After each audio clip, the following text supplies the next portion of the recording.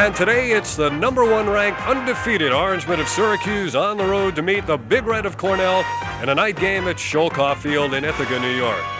Hi again, everybody. Dave Cohen along with Dale, Dale Drypulcher, we welcome you to another Syracuse lacrosse game. A little bit of a different setting for us, outdoors at nighttime here at Schoellkopf Field. Very comfortable conditions as we get set for this game at game time. But at this time of the year in central New York, the weather can change quickly. There was an inch of snow on the ground this morning, but right now temperatures in the 50s. This is a different kind of Cornell team record-wise. They lost only once a year ago in the final game, the championship. They've already lost four times this year. They've only won twice. They've had some problems scoring, but uh, I think they've dedicated this game. This is their season right here. If they beat Syracuse, they've still got a chance to get in the playoffs. They're looking forward to that, but they're not looking past this game. This is the game for Cornell, so I'm looking for anything and everything. When you talk about having problems scoring, it's hard to understand when you've got Tim Goldstein, who had 73 assists a year ago, including nine against Syracuse, but his numbers are down. He's only got 19 points this year. He really is. Has got a couple of problems. He's uh, he's an excellent feeder. He was a transfer. You can tell he can get the job done.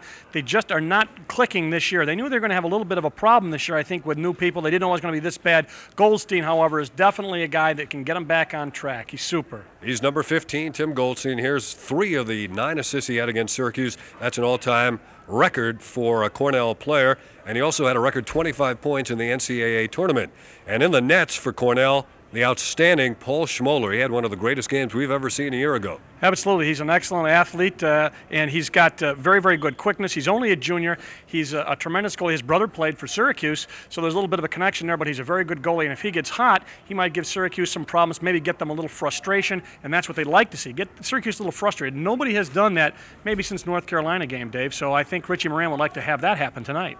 You know, the last time Gary Gait failed to score a goal in a game was against these Big Red of Cornell. It was in that game when Schimoler had the record 34 saves, but he's had 45 goals in eight games, and he scored uh, well over 60 in his last 14 you know, everybody knows about him now. He's no secret. They knew about him last year as a freshman, came on late nobody's been able to really devise anything to stop him. It will be interesting to see if Richie Moran does anything special to stop this man because he's just a scoring machine. That's all there is to it, and nobody's really been able to stop him. And the thing that's scary is Syracuse has shown enough balance. If you shut Gary Gait off, other people can pick up the slack. Syracuse has had scoring from 24 different men, including a big stick midi, Phil Schluter, with two goals last game against Hobart. He got two last week. He looked great. Uh, Zulberti fed him on both. Uh, he's an excellent uh, big stick midi. Uh, Syracuse has been playing very well defensively. McNamara and McCabe, I think, are people to watch tonight, along with Schluter and the rest of the big stick minis. They could be a key if they can slow down uh, the game. However, Cornell will kind of be slowing the pace down, but I'm talking about slowing down the offense of Cornell. The, the defense has done a super job. He's looking for some consistency tonight against Richie Moran's Big Red. Richie Moran has exactly 200 career wins, and Roy Simmons knows that anytime he goes up against Cornell and anytime he coaches against Richie Moran, you've got to be on the lookout for any possible change in strategy, including something that happened in the semifinal game last year when, with the score tied 15 15, Moran asked for a stick check against Gary Gait, and Roy wasn't too happy about that. Well, it's just a case of challenging personal integrity. Uh, in my estimation. I think if there is an illegal stick, it, it becomes obvious. And uh, I think when you're just uh, uh, taking shots wildly because a fella has eight, five goals at that point in the ball game, that it's, uh, it's, it's, at that level of ball, semifinals, NCAA play in front of 20,000 people, I think it's the wrong time and place to challenge somebody's personal integrity. So there is a score to settle for at least one team and one coach in this contest. I really look for an exciting game, and as you said, be on your toes. Anything can happen when Richie Moran's uh, got us back to the wall. We'll be back, and we'll have the opening face-off, Syracuse and Cornell, right after this.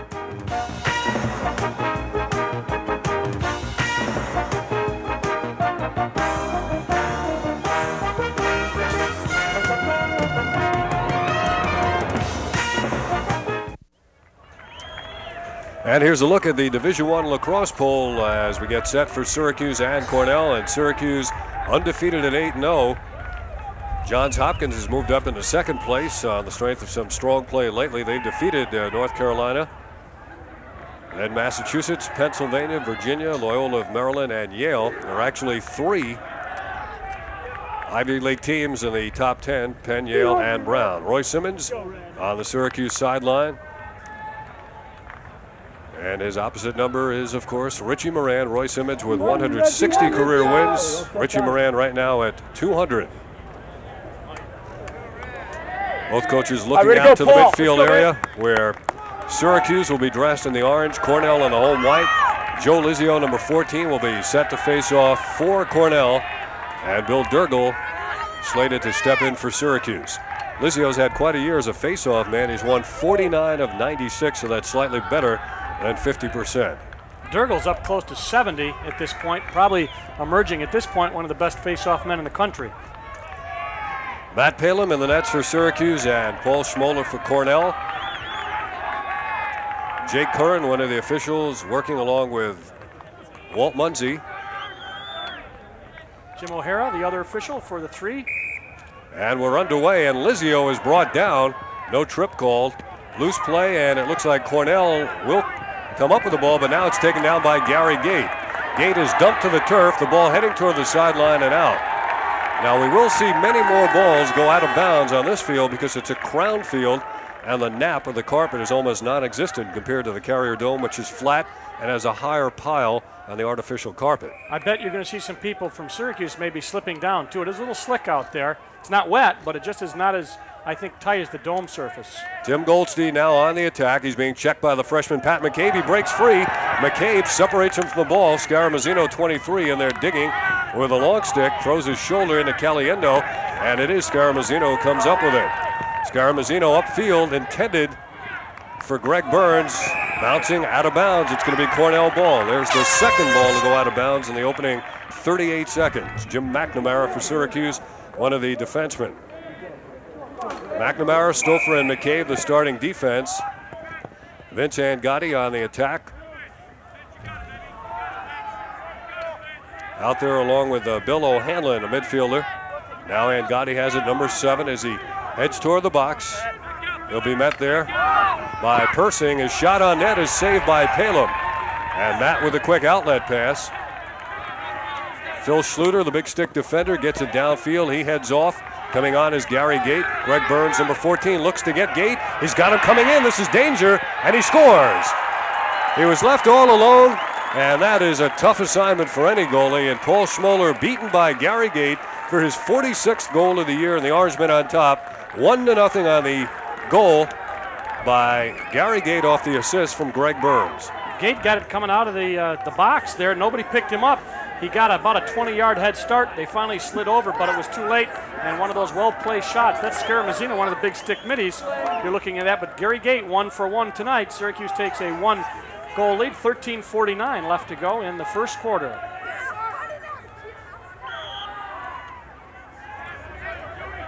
Off the face-off, the white shirts of Cornell in there digging, but it is Paul Gait is closest to it. It's kicked away from him. Losing a stick on the play was Joe Lizio, and Syracuse gets it back. Paul Gait. They feed the crease. Burns looked before he had it, and Burns in pursuit now. Picked up by Jim Egan. Egan feeding down low to Zulberti, touching the ball for the first time. John Zulberti They've got Durgel in there. They want to get him off now. He'll run off, and Zulberti will hold on. And he got to run out of trouble here as they get on.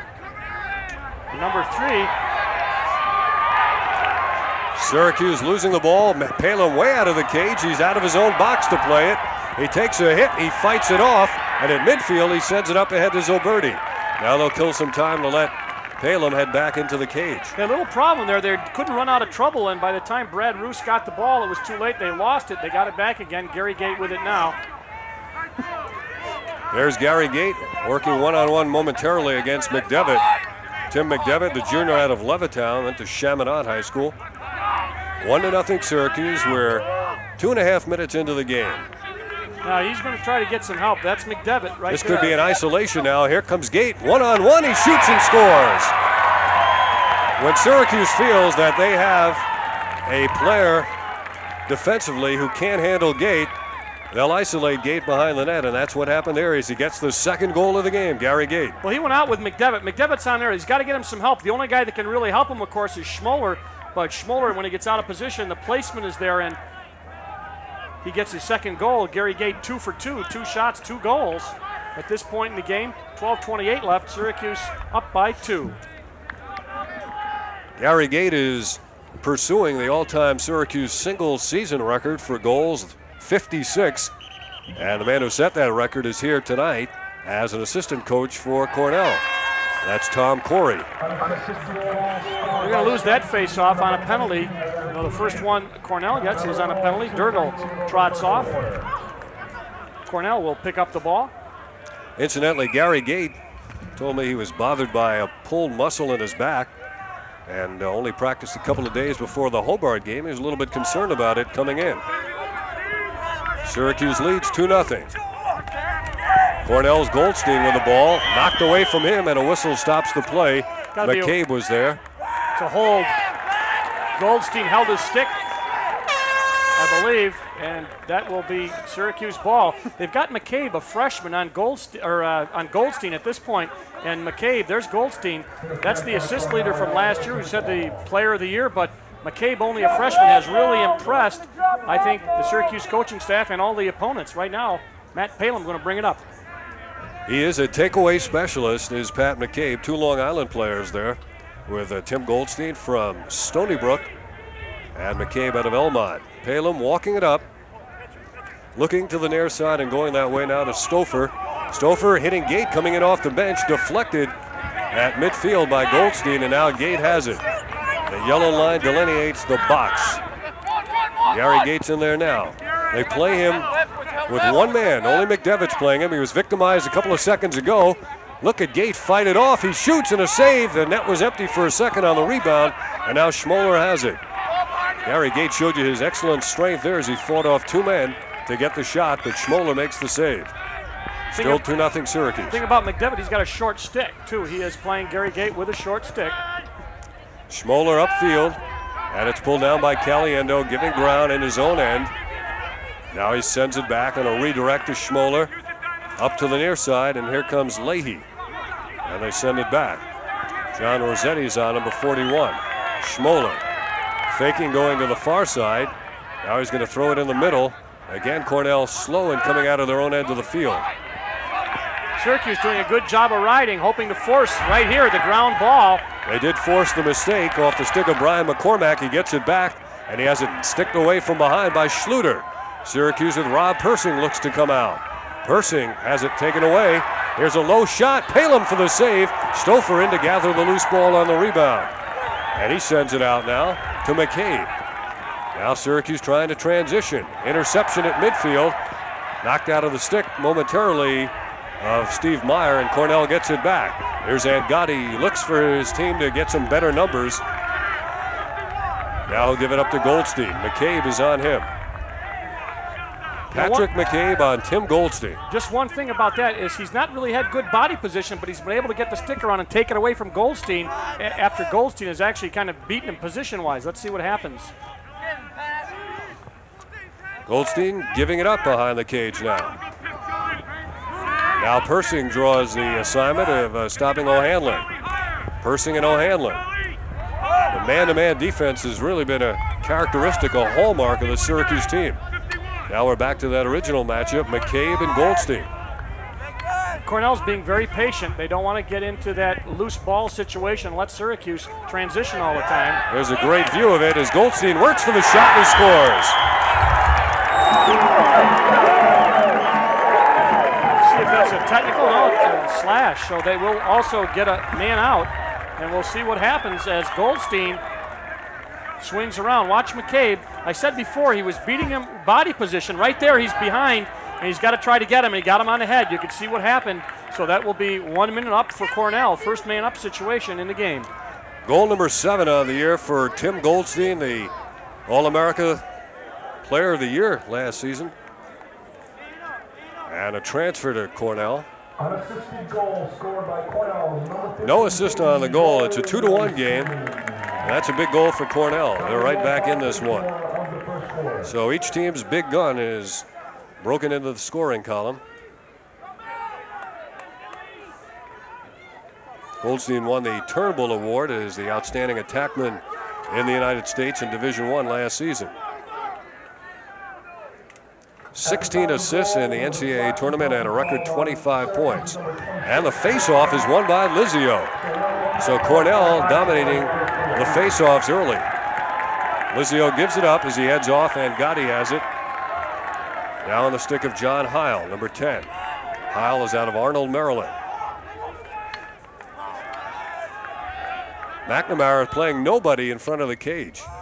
This is zone defense by Syracuse. Well, they're down a man. That's so they're still they've still got a little while. I don't know how much time is left, but after that minute penalty, now they got to open Up top, front. Cummings scores.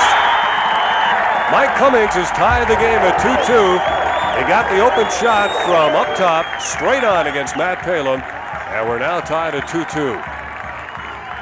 man up goal, and this is exactly what Cornell wanted to do. I think is get into the game early, and there's the shot past Matt Palum. Man up goal, the foul by McCabe, the penalty, and then losing the faceoff. Syracuse down, tied up 2-2. Maybe a little momentum to Cornell. Very early, 8:54 left, first quarter. Ball popped out, and that's 44 scoops it up. So Syracuse, I think 3-2 now in the face-off department. They are all over Gait. There are two guys on Gary Gait. They're not letting him just run up the sideline and clear the ball. Lizio got it. Lizio fed uh, Meyer, and now Stouffer having trouble picking it up. Stouffer kicking it away and trying to play it in the corner before it goes out, and successful there is McCabe, and he takes a hit. Goldstein contending the call that gives Syracuse the ball. We're going to get another look at this hit. Watch the way McCabe was waiting. Uh, watch McCabe just didn't know he was going to scoop it out. That was a high. It would hit him in the head. There's no doubt about it. Richie Moran's upset about it. He's all over Walt Munsey, but that was either uh, an illegal check or unnecessary roughness. Take your choice. Goldstein's out for a minute. Boy, Dirk. So now the momentum has shifted a little bit. Bill Durgal on the sideline getting words of encouragement, the Syracuse faceoff specialist. Greg Burns now to Brad Ruse. Behind is Zulberti, near side to Gait. Paul Gait. Burns back to Paul. Paul Ruse. Ruse, they're working into Zulberti. Up top, Paul Gait. He fakes the pass. He goes to the right hand. Low shot saves Schimoler. And the rebound to Stefano. Knocked away from him by Peter Allen. Allen loses control, and it's played by Rossetti. Rossetti up ahead now to McCormack. McCormack outruns the Syracuse defender. Now Caliendo has trouble. He's checked from behind by McCabe, the separator. And the ball rolls out. It will belong to Syracuse. One thing that Cornell is doing is they're hustling, and when Gary Gait gets the ball and he's not in their offensive half of the field, they are putting two people and trying to get the ball down. And there's McCabe hacking into Hewen with that piece of aluminum, and he does knock the ball loose from Caliendo, and it went off of Cornell. Syracuse clear attempt right now. Kevin Miranda's in the game for the first time, the coach's son. He wears number eight for Cornell. Syracuse getting Earl Hall and Keith Owens into the game. Official timeout, that little stick problem there. I think a stick broke or delay a game now against Syracuse. I thought it was, I saw him make a sign pretty far up here, but it was definitely delay a game. Syracuse loses an opportunity. So they put the ball in the stick of Vince Angotti and Cornell, having scored the last two goals, now looking to take the lead. It's Goldstein who's going to play it in from the far side. Number 15, here he comes, Tim Goldstein. Syracuse 2 and Cornell 2. We're midway through the first quarter. Game being played at a slower pace, which definitely favors Cornell and takes away Syracuse's advantage in numbers in terms of alternating and substituting players in the game. Cornell really spreading out their offensive players, the attack men and the middies. They got one man behind now and really running a spread out. Not a lot of people packed on the crease. Angotti is played by Rod Persing, number 34. Going back and forth, running time off the clock. Perhaps trying to catch Syracuse napping a bit. Down to seven minutes to go in this first quarter.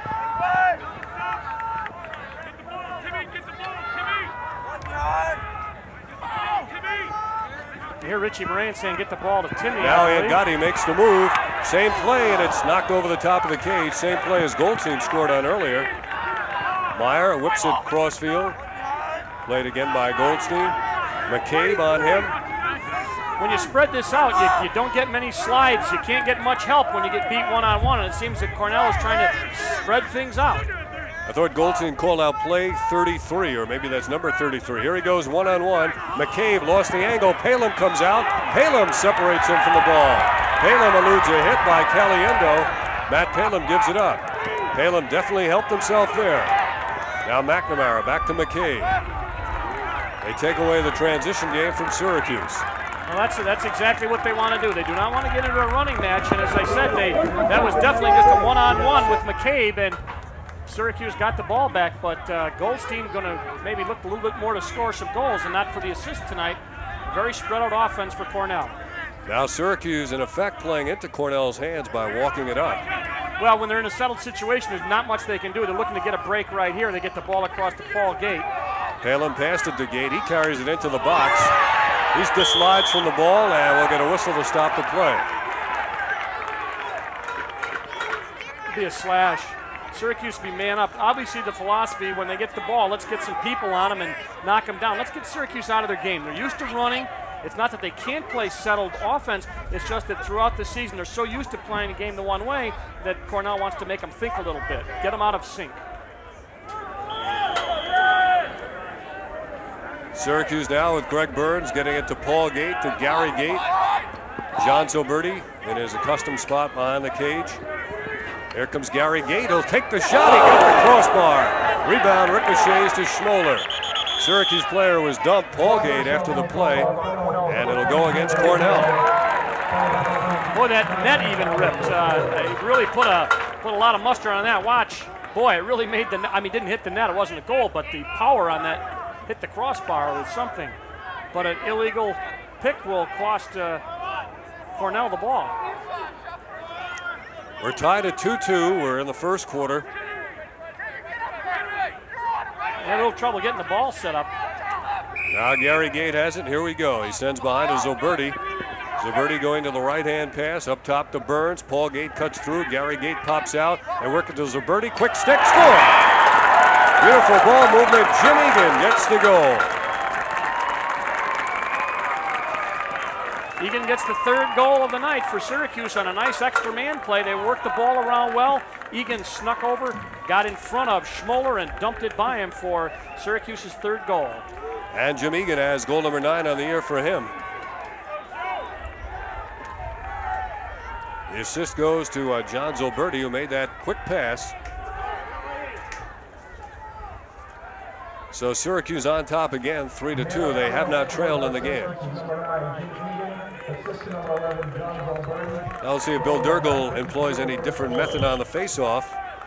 He knocks it free, but back to play it is Lizio. So Cornell controls the face again. They send back in their own end, and Zulberti's there to apply the pressure. Syracuse may elect to go more to a pressure type game with a ride to pick up the tempo. Schimoler now with Zulberti on him. Burns takes a run at Rossetti. Now Schimoler has it again. Under five minutes to play. There's an error, and Burns can't pick up the ball, however, as McCormack has it. McCormack being ragged by David Patain. Now in the midfield area, O'Hanlon carries it across with Caliendo on his left. He gets it now on the wing. Owens playing him defensively. Charlie Caliendo, number 22. Senior out of Hempstead, Long Island. Once again, you see the spread out offense that Cornell is using. Angotti, number seven, Cockeysville, Maryland, cuts through, loses the ball to Stouffer, who can't handle it. Stouffer's had trouble handling the ball tonight. Here comes Owens. Owens, nobody on his left. He's got a couple of men on his right. He feeds the crease, intending to go to Scaramuzzino. Now he shovels it back toward the goal, but it's going to be picked up by McCormack. McCormack back to Schimoler. Not a good offensive opportunity that time by Syracuse. They weren't balanced as they came downfield. Well, Cornell is really going after him too. If you get the ball, you better be aware that those guys in the white and red are going to be after you, and they want to put the ball down and get the ball back to their offense. And he fakes a long pass, Schimoler does, and they send it over to his defenseman, Rossetti. Schimoler goes near side now to DeStefano with Greg Burns up to harass him. Now McCormack changing directions. Cornell carrying it across in midfield. O'Hanlon coming into the box. He's left free. He may shoot. He fed Cummings instead. And Syracuse takes it away. Now they've got the transition going. Patain up ahead to Burns. Burns will walk it into the box. Well, they had the big sticks on, so he wants to give him time to get off. They're not going to jump Burns. They're going to let him go on the fly. Gait's got to jump. And Gait comes in. He's got the advantage, but we'll get a call at midfield on the substitution. It's going to go against Cornell. Well, Cornell's being very aggressive, and they are going to call an illegal check. Walt Munsey is going to jump right on it, and that's going to be McDevitt, 44, I believe, is going to be called for an illegal check. Was that illegal coming out of the box in the That's substitution? not the signal I got. He gave it. We'll, we'll check. Moments ago, here's how Gary Gait came in off the bench, and the call was made away from the play.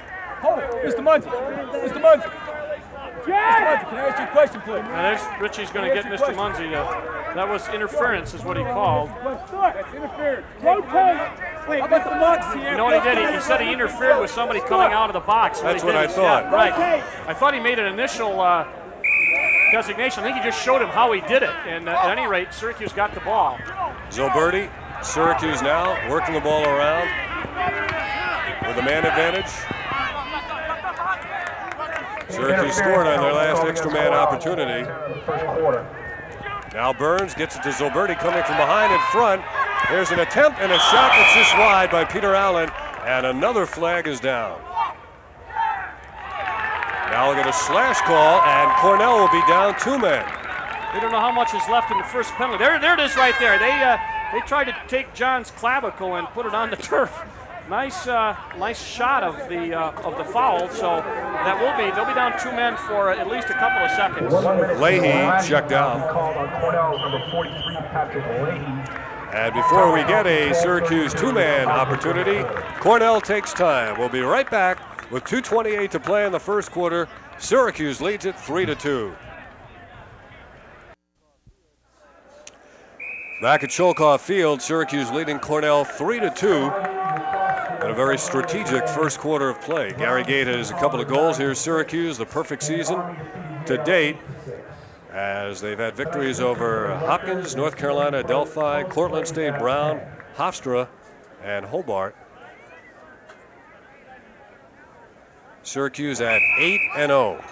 They're going to be two men up for nine seconds. There's nine seconds left in the first penalty, and then they'll be man up for 51 after that. Burns to Ruse to Zulberti to Paul Gait in close. He may have had a shot opportunity. He tried to get it to brother Gary, who keeps it inbounds. Can't control the ball yet, and Cornell's going to get it. Cornell's man down now. They're only one man down. It would great. McCormack tries to cheap it out of there. He gets it to midfield. McNamara keeps it on. Gait has it knocked away. Syracuse plays it back with Stouffer. They're retreating, giving ground as they try to form the play. A bouncer upfield to Burns. Somebody's lost a stick. They go to the far wing, in close. Zulberti deflected at the defense and heading out of bounds. Off of Cornell, I believe, yeah. Syracuse will keep it. He hit DeStefano. Tried to kind of force that pass to the crease, I think. See Richie Moran down there working the officials. He, he's not really supposed to be out there. He's working, working, working, hoping to get a call out of this. The man really is a master. And he's talking all the time. Syracuse ball, but uh, they kind of forced that pass to the crease, I think. 3 2, 146 left, first quarter. Paul Gait with the ball. Paul Gait gets it to brother Gary. He's got the two goals. Now Zulberti sneaking in, goes the other way. Guarded by DeStefano. They work it up top of the box. Burns is going to give it up now to Gary Gait. He gets it right in front for Allen, knocked off his stick. Was it a shot? Yes, it was. So Zulberti closest to it, keeps it for the Orangemen. Zulberti nearly touched it as it was going out of bounds. Minute 26 to go in the first. Very pleasant night. Two big sticks in, Gleason in, and DeStefano. And Lizio checks out for Cornell. We'll watch his play develop from behind because Gary Gait has it. Twice before he's gone one on one, and here he comes again. He gives it up this time to Paul. Up top, Ruse faked the shot. He switches hands and he scores. Brad Ruse faked the right-handed shot, then he went to the left hand and he scores.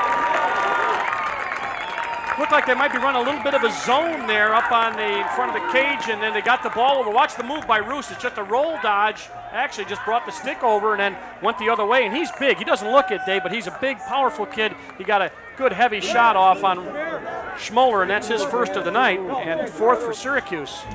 Brad Ruse is seven goals on the year. He's only taken 21 shots. And Syracuse again out to their two-goal lead. They led 2 0 Dirrigl rakes it back, and he's going to go back to play it. Dirrigl is checked away by a combination of Cornell players, and Goldstein gets it back. Here's an opportunity, but it's mishandled, and Keith Owens has it now. Owens ahead to Rodney Dumpson, who runs well, but he can't come up with the ball. Burns back to play it. Burns may carry it in himself. He does. He's going to settle it down a little bit. Syracuse is going to get used to playing this this half-court game, if you will, half-field game. Up. Egan goes one-on-one. Egan stops. Egan double team, loses it. Schimoler picks it out of midair. Schimoler runs well up the sideline. His brother John played on Syracuse's national championship team of 1983. Now with half a minute to go, Cornell sent a man on the field. We may have had an inadvertent whistle to stop the play.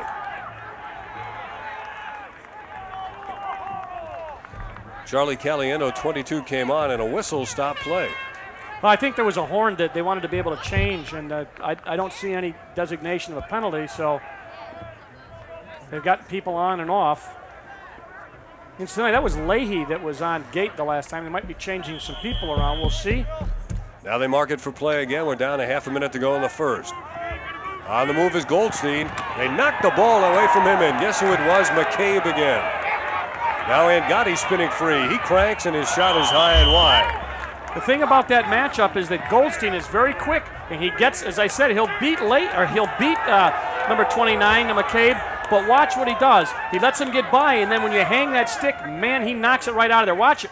Just hung it too late. Knocked it out. And Goldstein paid after that ball was knocked away. We've got an injured Cornell player down. Looks like, is it Goldstein? Yeah, Goldstein's yeah, he down. Was, he was crunched after that takeaway by McCabe. We saw it on that tail end of the replay. Richie Moran out on the field again, really working these officials. And now Roy Simmons is going to come out and wonder why Richie's uh, out there walking around giving the officials an earful. Well, he's, he's asking how he how he got a cut if he wasn't uh, wasn't checked illegally or hit with a stick, is what he's asking. We'll try to look at it again and see the tail end of the play. Oh. He got he got he got checked. Now it might even been his own stick that went up. I don't know. There was the stick was checked. It might have been his stick. We couldn't see from there. But I'll tell you, Jake Curran not, will not take a whole lot more of this. He wants to let him know who's in control of the game. well, Moran giving Curran the earful right now. Goldstein is down, and if Cornell's to have any chance, they've got to have Tim Goldstein in the game. Well, Goldstein, as we said, not looking for assist, and he has got a lot of blood on that face. He got a cut right on the nose. He's going to sit down on the Cornell bench and be attended to. In the meantime, we have 18 seconds to go in this first quarter. Richie Moran assisted by Keith Reitenbach and Tom Corey, who holds the Syracuse record for the most goals in a year. Ball in the far corner. Palumbo's out of the nets. They'll double him. The cage is empty, and Persing gets the loose ball. He'll kill some time off. Upfield he goes, and it's regained by Cornell with eight seconds to go. Maybe not enough time for another scoring opportunity. Cornell losing the ball. Schluter taking away from O'Hanlon. And we got a whistle before time had run out. But that is the end of the first quarter with the score Syracuse 4 and Cornell 2.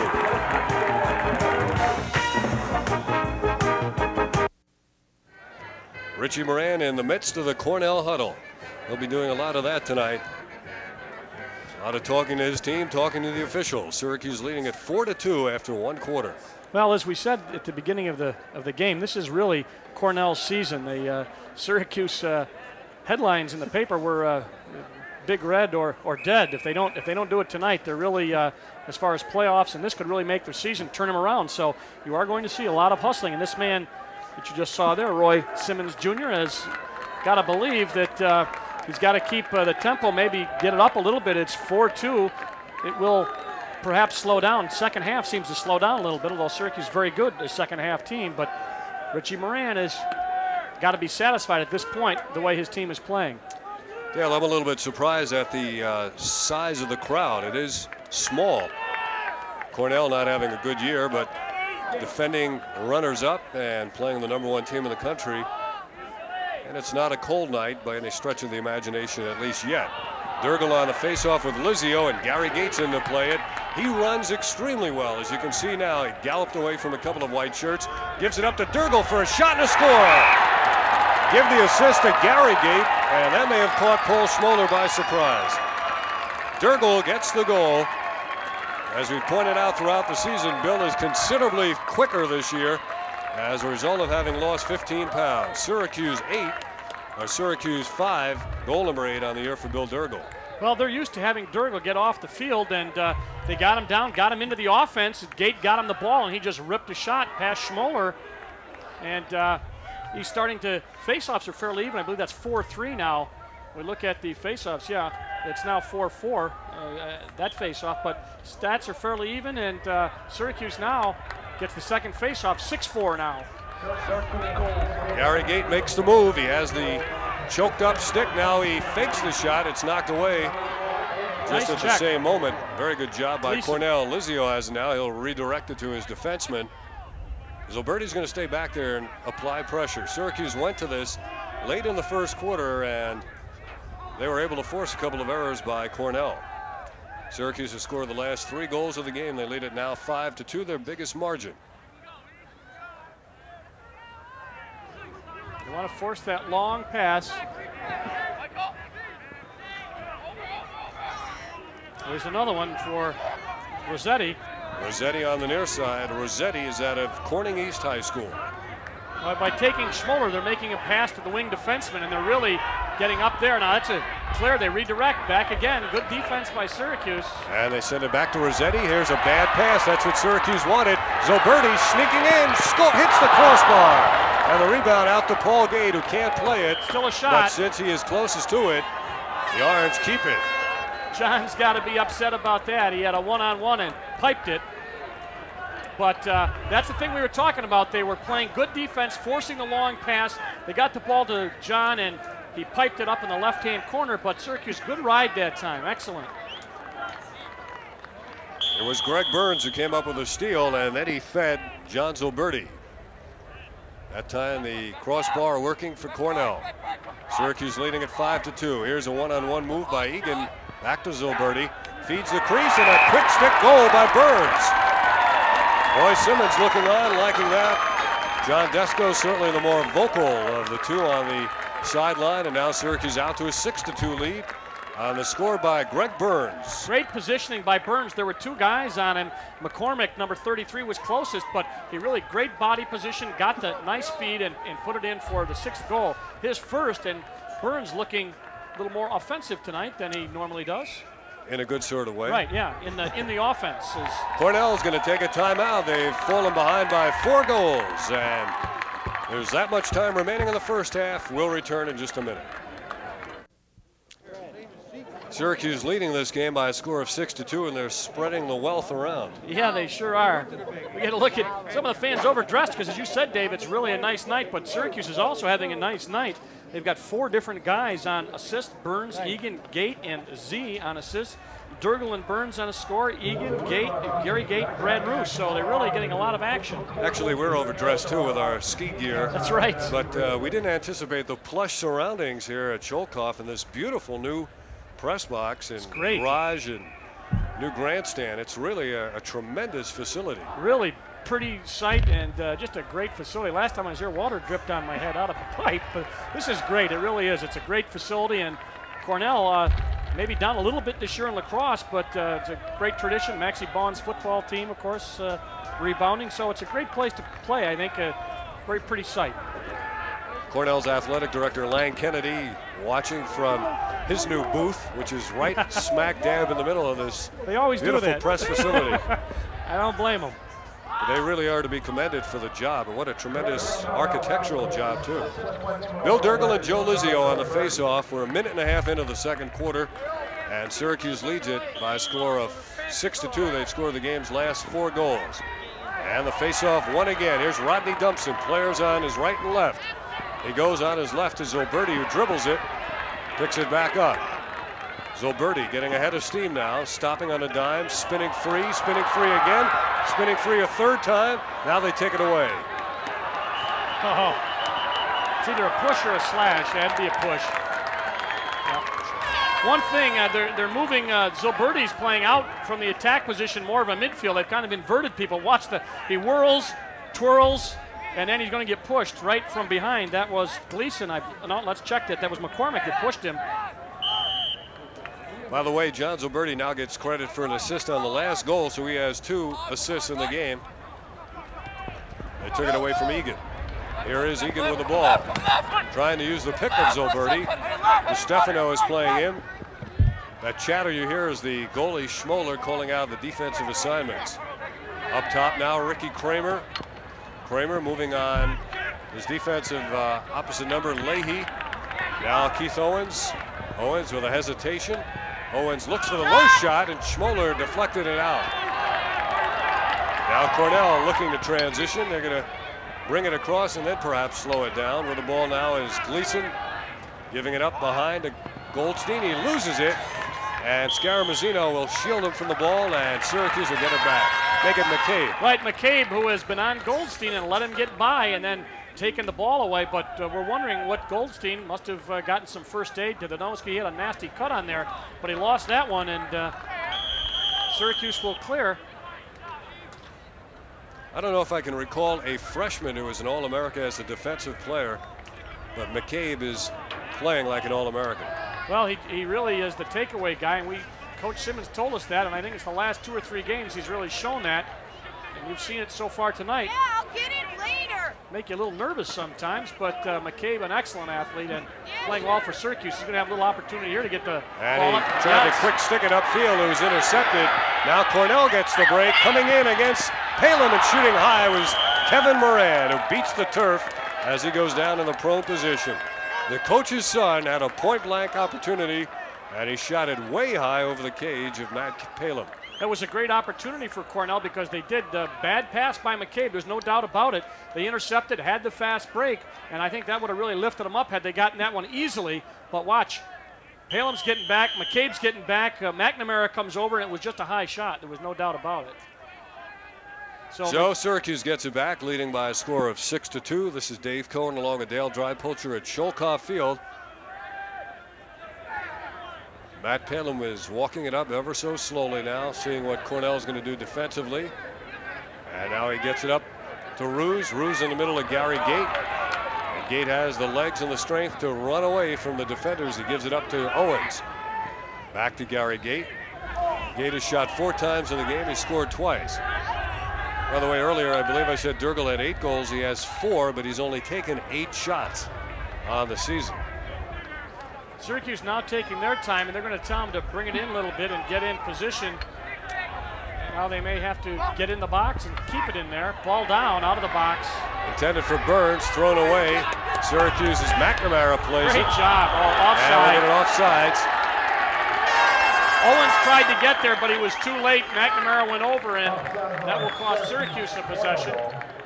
Jim McNamara, the junior who's playing so well. Watch, here's McNamara, and they're looking.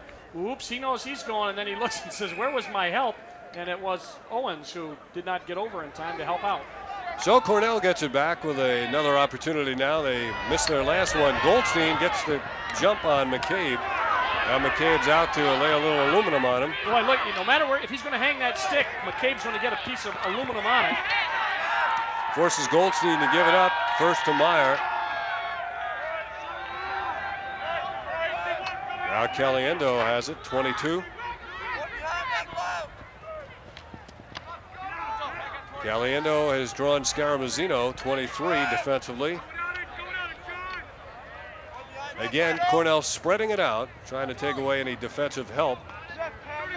It really does give you some isolations. It's a long way to jump and slide.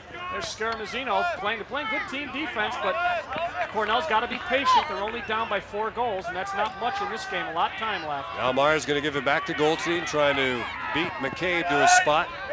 McCabe takes it away from him, the spot that is. Meyer now against Stouffer, and Goldstein's going to try again. They'll give it back to Meyer. Steve Meyer making the move on Stouffer. Syracuse reacting well. Now they feed the crease Oh, and. Palumbo with a save. Great job. Off the shot of Wurzburger, they can't find the ball, and now Palumbo gathers it in. We may have interference. Goldstein against Palumbo. It's illegal procedure, and Syracuse is going to get it. Nice body save, boy. He really slid and got his chest out in front of that one because uh, you see the move, and they that was Meyer. There was the ball down. He made the initial chest save. Let's see what happens here. We couldn't. We didn't have a good angle. Ball down again. That, he comes up with it. Actually, two saves on the same flurry there for Matt Palumbo. I don't know if they called that last one. Should have been a shot. They tried to poke it in there. Wurzburger, who took the shot there, had five goals against Syracuse in the semifinal game in the NCAA last year. Now back to offense, Zulberti. Zulberti to Egan. Outside Ruse. Gary Gait's popping out. Now working without the ball is Gait. Sets the pick. They go to Paul Gait. Paul left hand behind the cage to Egan.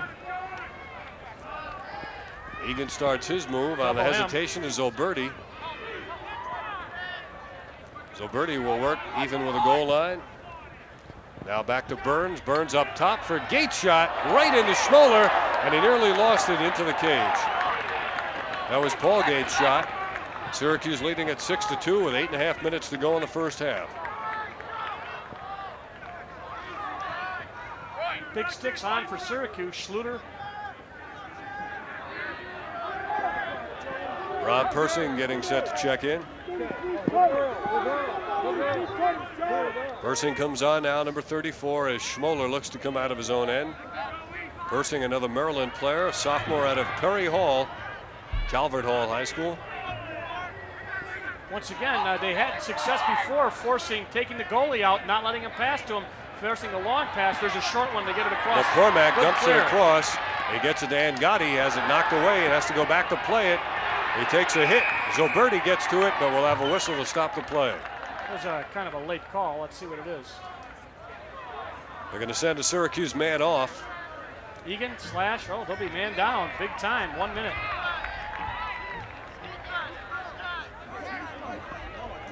Jim Egan is discussing the call.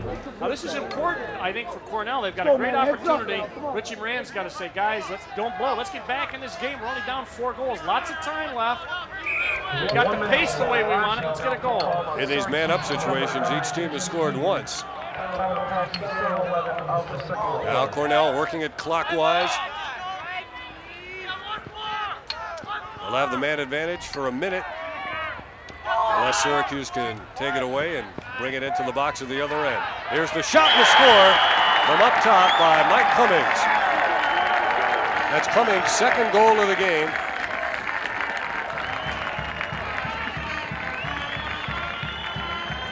We could hear the goalie yelling 1-4-1. They had one man out, four guys across, and then the feed by Goldstein. That'll give him an assist. Cummings gets the third goal for Cornell. And they're right back in at 6-3, 7-28. Back to faceoffs. Mike Cummings has scored a pair of goals for Cornell.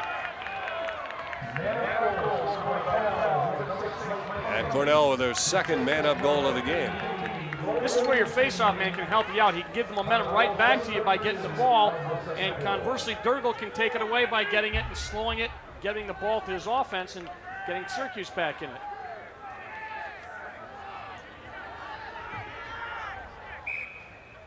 Off the face, Dirrigl does his job, and he sends it back to Palumbo, who has to go high to catch the pass. Stouffer's had trouble all night controlling the ball. Now he sends to the far side, and McNamara. Megan McCabe. McCabe now with the ball, moving away, looking to give it up, but he can't find a man, so McCabe has to stick handle. Burns is going to have to run out of trouble. They get uh, Burns will hit Earl Hall, releasing now, coming into your picture number seven. Earl Hall is going to be doubled. He gives it up before he draws the second man. Now behind to Egan. They stack it up in front. Zulberti working one-on-one against Rossetti. Back it goes to Zulberti. 6.45 to go in the second quarter in a 6 to 3 game. To Stefano on Zulberti. John leaning against his man. He's hoping for a hold. Not nice, nice defense. He's going to jumped. still with the ball. Now he feeds the far wing to Owens. Owens in the crowd to Allen. Nice play. Peter Allen gets the goal.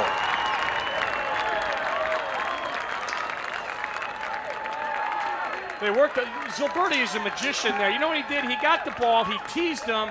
He said, "Look, I'm just going out here, and I'm going to have to get three guys on me." And then he finds the open man, Owens, who finds Allen, and Allen Schimoler doesn't have a chance. So Zulberti really set that up. It was a great job by John Zulberti, and Allen puts in the seventh goal for Syracuse. 6:23 left, four-goal lead for Syracuse, and Dirrigl back in it now. We'll check faceoffs. Peter Allen has his 10th goal of the year. If we get a close-up look at Allen, you'll notice that he does not wear shoulder pads, and neither does Gary Gait. Ah, slows them down, they figure. 7 4 for Syracuse in the faceoff department. The last three in a row have gone to Syracuse.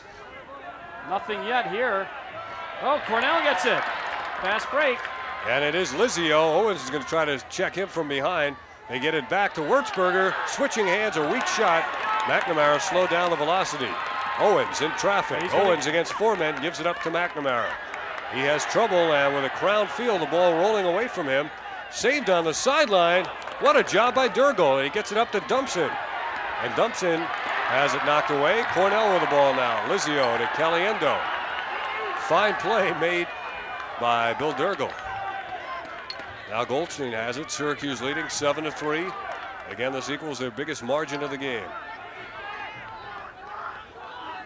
Well, Hanlon and Cummings in, or Angotti, check that at the midfield. Cornell on a weave up at the top of the box. We'll look at it from the end zone view as Caliendo dumps it in front, and Palumbo was there to pick off the errant pass. Palumbo pursuing it. Great and job. Matt gets there first to give Syracuse the ball back. That was a nice play Cornell ran. They ran it from the top. They ran, as you said, Dave, a little weave. Watch, they pop out. The man's open on the crease, and Goldstein tries to get the garbage. It's a shot. Matt Palumbo right in front of McCabe, or excuse me, McNamara blocking off. Good talk, and Matt Palumbo will have the ball in his stick when they start play. Gary Gait has not shot in the second quarter. He's hit two of four in the first. And it's a 7 to 3 Syracuse lead. Keith Owens got the assist on the last goal. For Cornell, Tim Goldstein with one goal and one assist. Mike Cummings is a pair of goals. Five minutes exactly to go in the first half.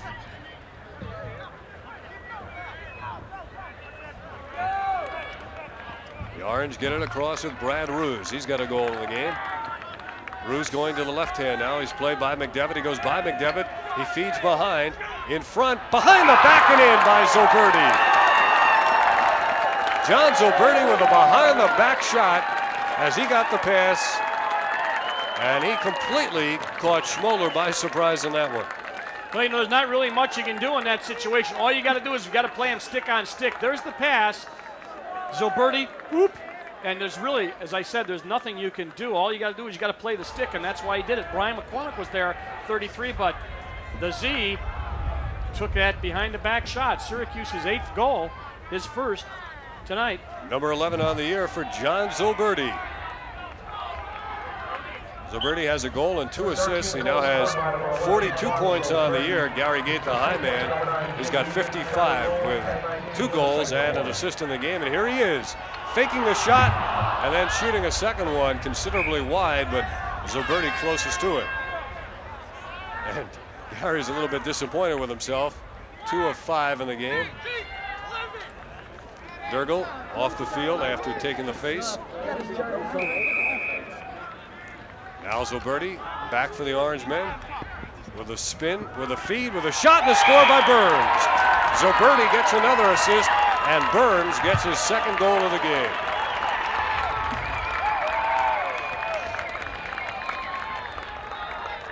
Syracuse, a team averaging over 18 a game, now has nine. That's just basic lacrosse, and that's exactly what Schimoler said. Hey guys, I can't stop those. You're going to have to play a little defense to give me some help there. Schimoler's an excellent goalie. Burns did a good job of moving without the ball. He got to the spot when Zulberti hit him. He just put a bouncer on net.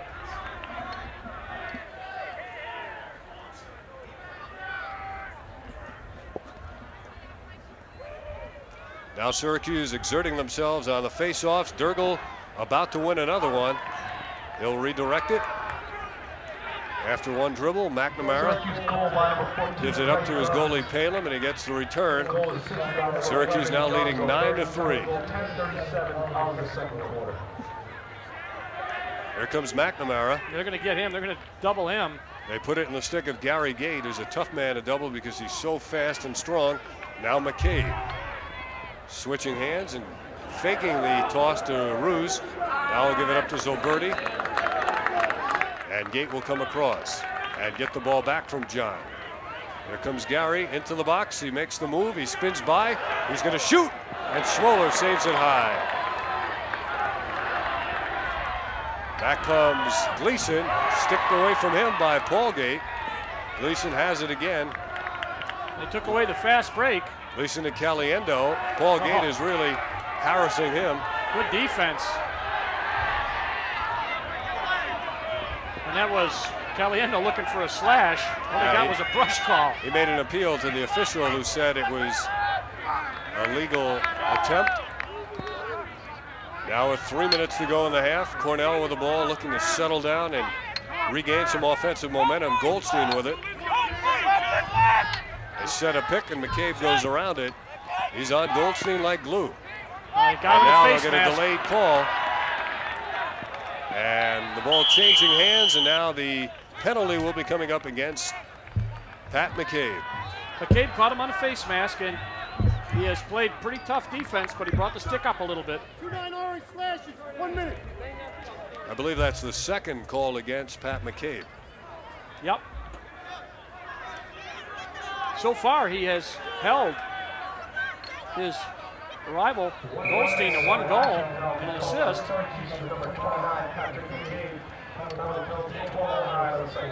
You see the man up goal stat. Goldstein going to dribble a little bit. They get it back in. They- Sto- Stouffer's playing him now with McCabe out.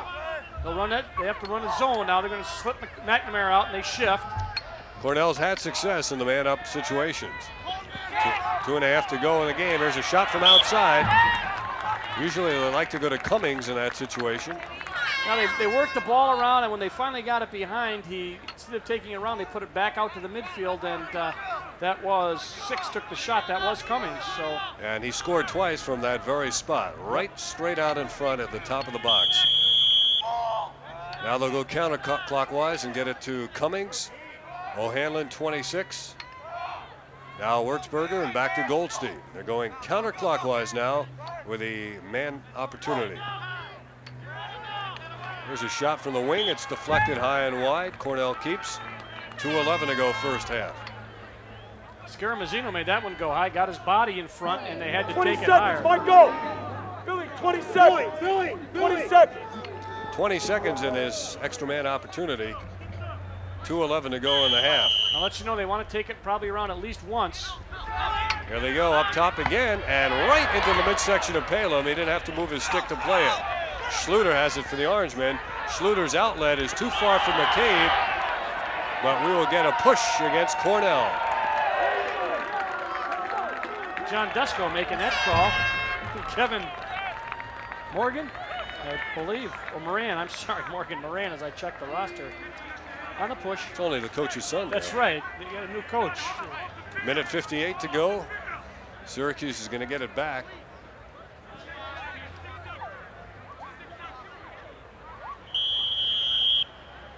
They'll take their timer. They don't want to give up a meaningless goal here and lose a little momentum. Six goal lead, not impossible to overcome. They want to be very careful. Now Owens killing some time, giving ground. Now he sends far side to Dumpson.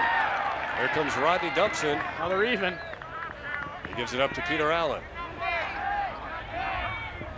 And Burns with it now. Lots of time, minute and a half. Burns reversing. Cornell calling out some defensive changes. And illegal procedure is called against Syracuse.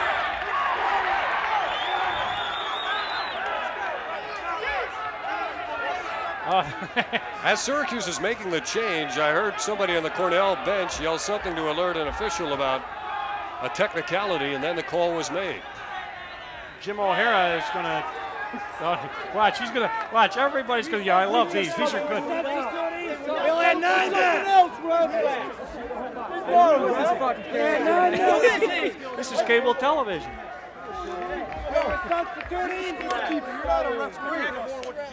Can you figure all that out? In essence, what they're saying is we put a man on. We only had nine men. We put our tenth on. Is the official home box. He's got a Cornell jacket. All we do is substitute that. Uh, it's going to stand, I believe.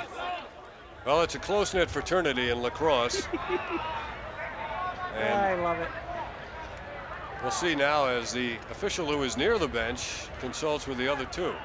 That's Jim O'Hara talking to Walt Munsey, Jake Kern, and this is the first real big discussion we've had. And You know, they do have a, a, major here at Cornell in labor relations. yeah, that's right. And I'll tell you, anybody who's majoring in it ought to attend a lacrosse game because there's a whole lot of negotiating that goes on. It's going to stay Syracuse ball. Somebody said thank you. And I believe Jim O'Hara said uh, that he acknowledged, obviously, if he made a mistake, then they can right things. And Richie Moran said thank you. So Well, we've got a minute 22 to go, and already the clock is on the field. That's the extra official you may see walking along. Owen shoots high, and he scores. To the wide side, the high side, Keith Owens now gives Syracuse a 10 to 3 lead with his seventh goal of the year. Well, McCormick was trying to defend him, and the thing is, he just Schimoler was screened, and uh, by the time you see that white six-ounce ball coming at you, uh, it's probably a little bit too late, and uh, that's exactly what happened. Off Schimoler's offside for the goal, making that Syracuse's 10th goal, first for Owens. who stays on on the wing on the faceoff with a minute 14 to go. This time Lizio wins it from Dirrigl. Dirrigl does- is trying to take the ball away from him, and he does. And they say it's cleanly done by Dirrigl. Owens has the ball. I guess they stopped play. The ball never did roll Well, he, out of bounds. uh, he pushed his stick. It was a ward. All right. That's all there is to it. You're, you know what? Dirrigl does not like to lose, and when he does, he goes right after the people that got the face-off, and that was a. You saw how that hustle helped out. Syracuse gets the ball back. With a minute nine to go, Owens legs it in to the attacking half of the field. Now he passes into the corner to Egan. Egan is being played by Rossetti. Egan gives it up. Owens blasts one, and Schimoler plays the rebound. Interference by Peter Allen. That'll give him a clear. Once you get that ball on your stick, there's a cylinder in there. That- Nice save, nice rebound, and of course you can't reach in there. Not when the goalie's got it. So with 53 seconds to go, Cornell is going to get the ball, and they would really like to get a score now. Let's see how Syracuse plays them defensively. 45 seconds to go. Goldstein with it. Syracuse leading it by a 10 to 3 count. They've got Holbrook on him. Now Holbrook seeing his first action. Goldstein against Holbrook. He spins free, doesn't have the angle, comes back the other way, shoots high. Clock stops with 31 to go. Cornell retains possession. Goldstein, nice job, really moving back and forth, back and forth, but Holbrook stayed with him and kept the body position. They're going to get McCabe in now, and we'll see who comes out. I believe it'll be Holbrook. Yep. Todd Red Dog, Red Dog. Curry, Corey. Come on now. Cornell with four losses on the year. The most they've ever had under Richie Moran is Oh. six. In 1984, as Cornell gets on the scoreboard I saw that coming. on the goal by Bill O'Hanlon. Oh, Hanlon beat Persing. I believe it's. Watch him move. There it is, right there. You can see it developing. It's just a sweep one-on-one with Matt Palumbo. That's goal number seven on the year for Bill O'Hanlon. O'Hanlon's uh, out of Canandaigua.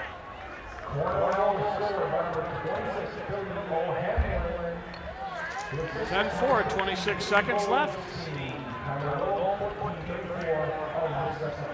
Assist Goldstein.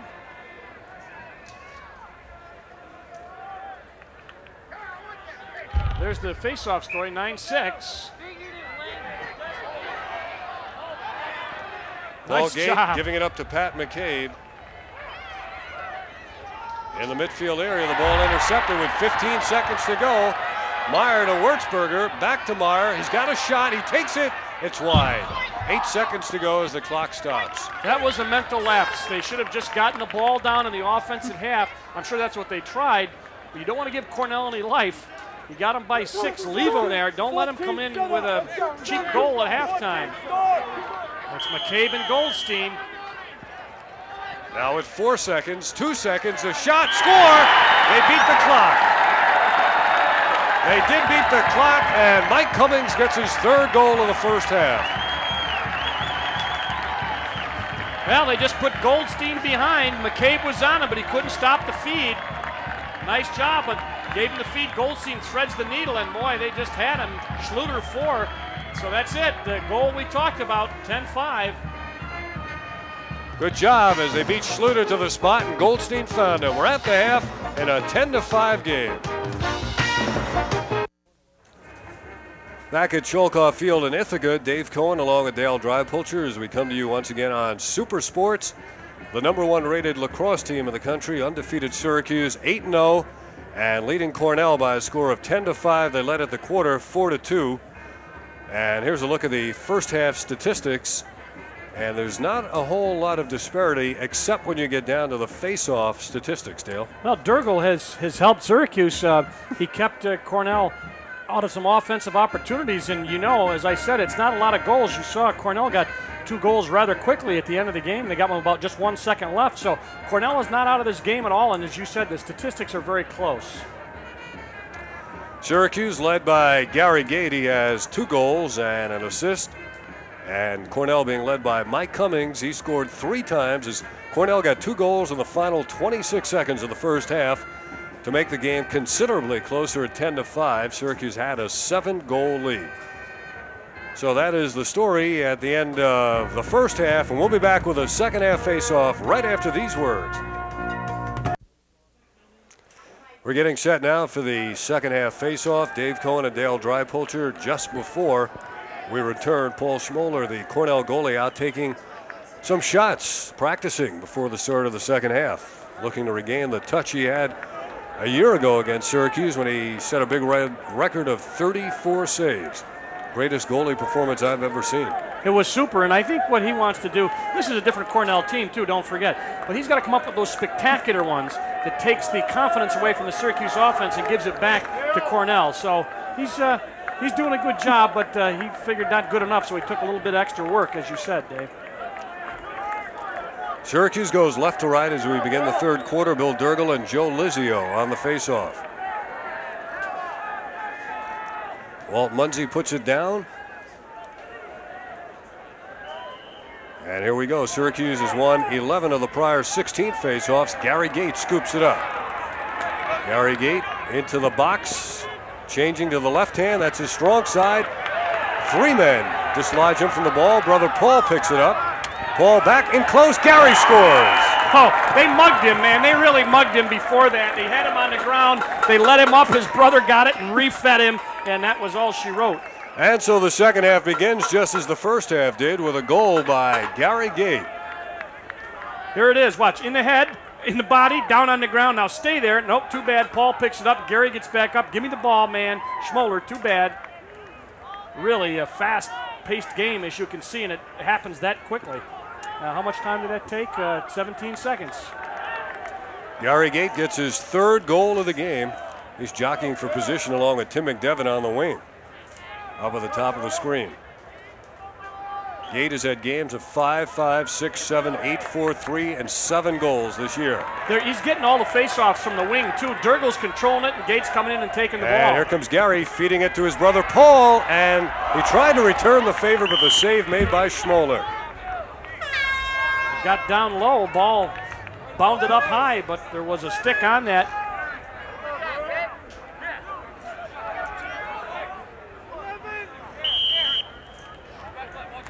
Neither Gary nor Paul Gait played high school lacrosse because his school didn't have a lacrosse team. He developed pretty well. Amazingly, Gary told me he never played hockey. Here's Paul Gait His shot deflected in the air, and Syracuse keeps it again. Pretty good defense there. That was Rossetti right on him, trying to uh, poke the hand and just keep the body in front of him. And Z gets the ball out. Burns. The Gait brothers did play a lot of soccer. Here's Zulberti.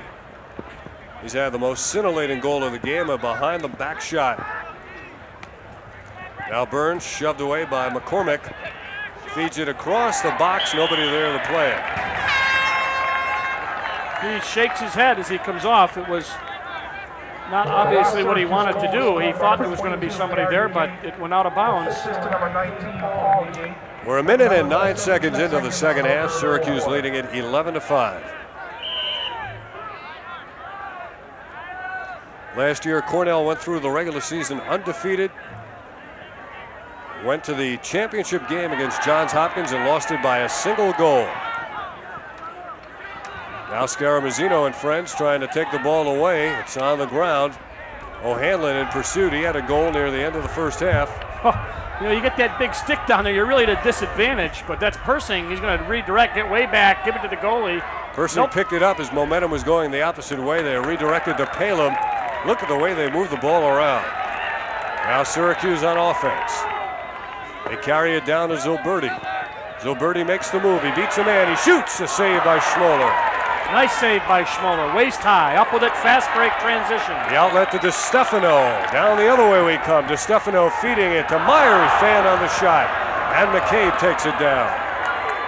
Pat McCabe dribbles it. McCabe handles the stick very well for a freshman defenseman. Giving it up to Persing. He goes right down with the stick up, and then it'll get him off and get some shorter sticks down there. Peter Allen comes on as Persing departs. That's the stuff you don't see all the time going on. Is people in and out of the box. Zulberti makes the one-on-one move. He's not apt to shoot it very often. Now Earl Hall with Keith Owens. Owens has it number one. He'll cross into the box. Behind the cage to Egan. Now Zulberti. Always easy to spot with those orange high tops. Against McCormick. He likes to hold the ball in these situations. Draw jumped, the defense. He gets it to Owens. Owens puts it on the left hand. Intercepted. Owens tried to regain it. McCormick bats it out to midfield. Syracuse tries to keep it in the offensive half of the field. Earl Hall is there. Knocked away from Hall. Owens loses it, puts his head down.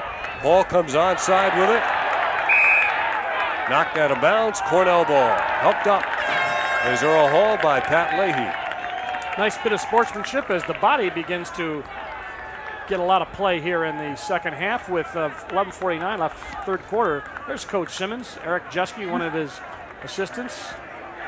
Man has done a lot for the sport, as did his dad, and he's got to hope he can keep the momentum they've had so far this season. Is that Dave Desko on the sideline along with John? Well, there's so many of them. They're, they're always at lacrosse games, so. Long Cornell pass. ball and long pass intercepted by Syracuse. The Orangemen in transition, a blindsided hit. McCabe bounces right back up. It was Patain who got hit and bounced up. The Cornell crowd enjoyed that. Patain no worse for the wear. Just adjust his uh, face mask, maybe uh, unbend a bar or two. And count your teeth. Yeah, that's right. Yep, they're all here. Caliendo has it. Scaramuzzino is on him. Changing directions on Scaramuzzino. Sending back behind for Goldstein, who has to go high to pull it down, and it's taken away by McCabe. Uh, he's going to be in trouble. Whoa! Palumbo gets checked. He's fair game out of the nets. Now McCabe has it. They were looking for Palumbo, and they were going to jump him with two guys. Goldstein playing defense now, 15 in the lower left-hand corner. Syracuse got the people on. Now going to take the time and bring it up on a clear. And it's Matt Palumbo. Brad Roos coming on now, number three. Signal to Palumbo. He was available if Matt wanted to throw it his way. Now Palumbo cautiously goes to the far side. Across they go to Paul Gait against Matt Gleason. Gait very strong with the ball.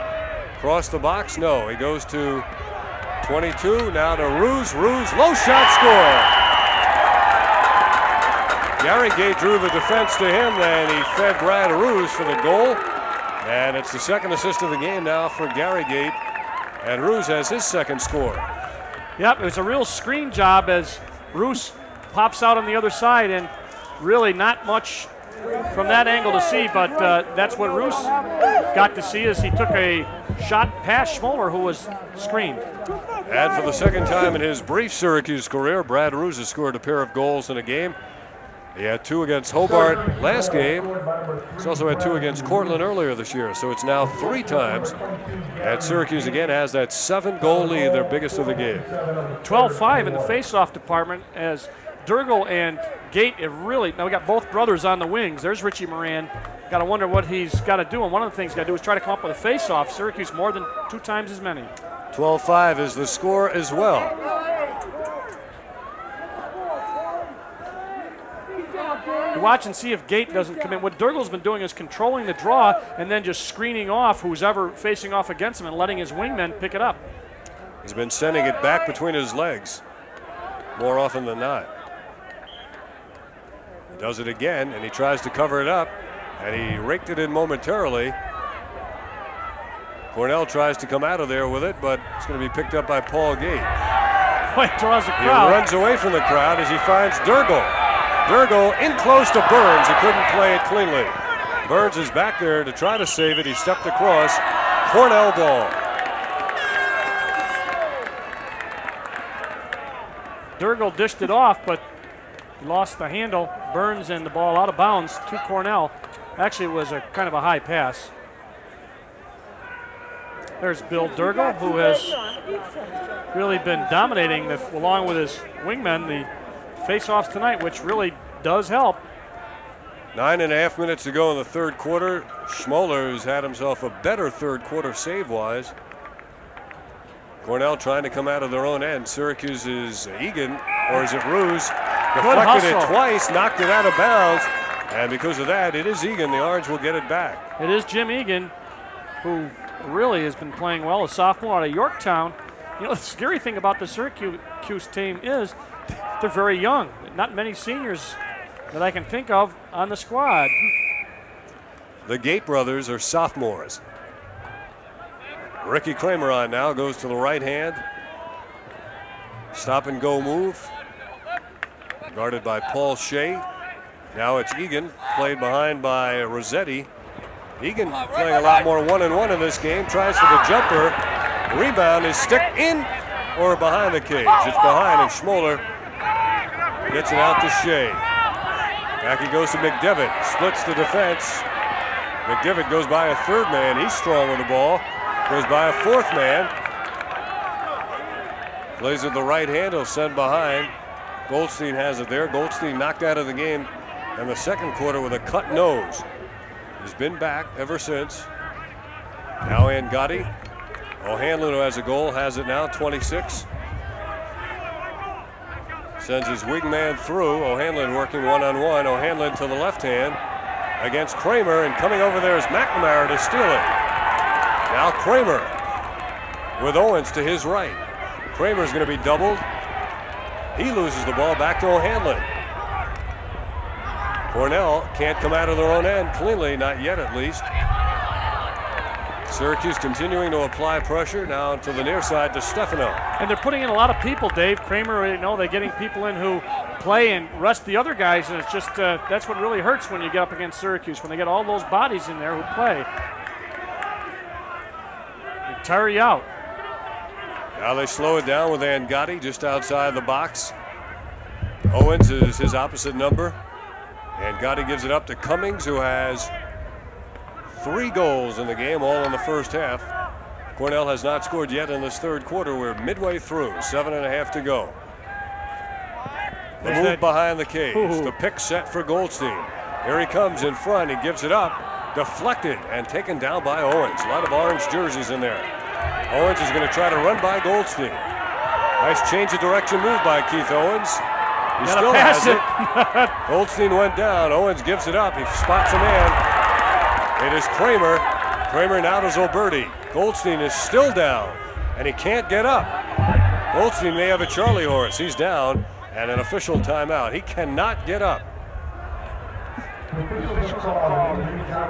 He went down quickly, and you said he rolled over. They looked to make sure that he was all right. When he couldn't get up, they stopped play. This is the kind of night when you can get a Charlie horse because it's getting cooler. The game's starting in daylight. And Owens really put a couple of moves on him, really screwed him into the ground. Well, Goldstein numbers, I think he's got three assists tonight and one goal. So he is really statistically coming in. He had 19 points, uh, six goals, 13 assists. So he's really having a, a, pretty good night. He's not having a real good year, but I think that uh, he has really taken some physical abuse tonight. I think the Charlie horse, as you said, and of course we saw him earlier. You can still see the blood on his jersey where he got a nose kind of cut up a bit. Playing in pain at both ends, upstairs and downstairs now for Tim Goldstein. Just under seven minutes to go in the third quarter. Syracuse leading at 12 to 5. Gary Gait has it in the upper left hand corner of your screen. Will he go one on one? Leahy's playing him. There comes Gait. He'll go behind. Let's see if they clear out for him. Gary Gait. Now he feeds. And the shot is saved by Schimoler. Brooke Chase came across to get the feed. And it was just a brilliant save by Schimoler. Yeah, as I was going to say, Syracuse has got to say a good look. Uh, you played it right. You saw the open man. You got the ball to him. It just didn't go. We'll try it again. You got a good goalie. You're going to have to take a good shot on him. There's the, the looking, looking. Who's open? And then Chase makes the run across the goal mouth and uh, just got a stick on it. Schimoler deflected it. Back we come to action now as Brian McCormick is about to get hit, but he's strong and he knocked Patane out of the way, and then McCormick is dumped. The big stick of Patane sending it back. Now they loop it back to him. He has to choke up to try to play it. He can't. But back there is Hotailing. Schluter also looking for another goal. Schluter had two in the last game, so Birdie uses a pick by Chase. Here he comes for the wraparound, and it's in there. Beautiful job by Zulberti. Especially beautiful because they had two guys on him, and he just took that left-handed wrap shot. And the Z gets another goal. Watch him. There's the move. He's got McCormick as the last man on him. He beat initially. He beat DeStefano. John Zulberti, two goals, two assists, and two beautiful goals. A behind the backer and a wrap shot just there. With 6:05 to go, it's the biggest lead of the game. We're in the third quarter. Syracuse leading by eight. I mentioned Syracuse has had eight different people score tonight, really spreading it around, and that's nice when you can look down there and see uh, when you're coming and scouting Syracuse and saying, geez, they got eight guys who score, and that happens not just in this game, but in a lot of games. They get a lot of people in the scoring column. Good look at Gait and Shea as Dirrigl wins another faceoff and dumps it on the far side. Played into the box, but taken away by Cornell. And a whistle at the midfield line. Somebody was offsides. Who was it? Syracuse. Cornell gets the ball. That'll be 30 second penalty. A so, technical is the call. John Desko looks like he doesn't believe the explanation there. Kevin Donahue. Come on, come on. Sloop. They had Schluter in there. That's what they wanted. They wanted their people in. Schluter just made it in, and they're going to put the ball in play as Cummings has got it. Cummings had three goals in the first half. John Heil is on now, number 10. Cummings with the ball now. He likes to shoot from right out in front, just inside the line that delineates the box. Quick stick pass. Cornell will keep it. Wurzburger really hasn't seen all that much action. He took a nice shot, but uh, good follow by Palem kept the body in front of the goal. Cornell the man up. Richie Moran checked how much time remained. Up top they go. Here's where Cummings likes to shoot from. This time they play him. They go to the wing, to the goal, back to the cutter. The cutter is Caliendo, and there's McCabe.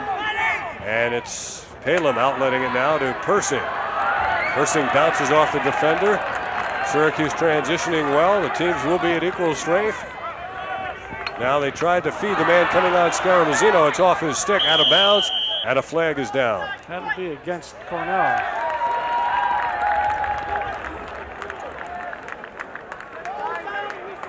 Jim O'Hara made the call.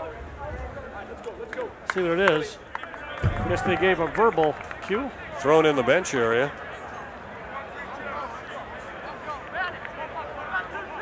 Say one, three, two. They'll have three guys on the crease, one man behind, and two out front on by the restraining line. So they say one, three, two, and they get it to the wingman, and he makes that's Gait. He really went way over Zulberti's head. An unforced error by Gary Gait. You don't see that too often uh, these days in lacrosse by any of these Division One teams. He just threw it over the head of Zulberti. You know, we used to see that a lot. We used to have to use the old-fashioned sticks, Dave, and also if the weather got there, you know, those sticks and stretch and stuff. But with these new ones, well, I tell you, there's something else. Real pieces of technology. I can remember games up in the North Country, Clarkson, where you'd try to pick up a ball and you'd come up with a stick full of mud. That's right.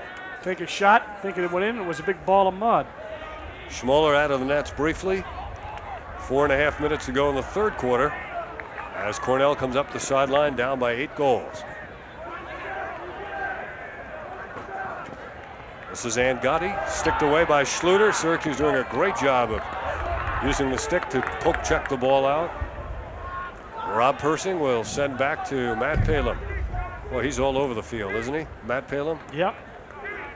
He has had a, a good game, I think. He played well, and the defense has helped him out, and they've kept people away from him, and uh, he gets a chance to regroup. He's done a nice job of setting up the clears. That's something else the goalie has to do.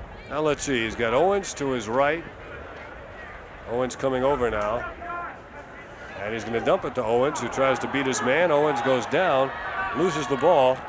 He's in pursuit of it, but McDevitt has it. Here comes McDevitt toward the box. He's got a man open on the right wing. He goes left instead. Still holding the ball. He's strong. McDevitt giving it up now behind the cage. Goldstein gets it to the near side. Goldstein back outside now to Caliendo.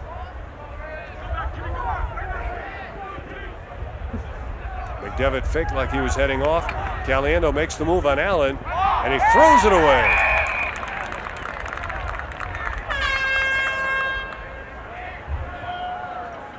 Those are the things that can hurt you. Get the opportunities when you got a team that has not allowed you to get many shots off at all in the third quarter. You want to make sure that you get some shots. You got to get back into your offensive game, and Syracuse defense has done their job, and Cornell helped them there by throwing the ball away.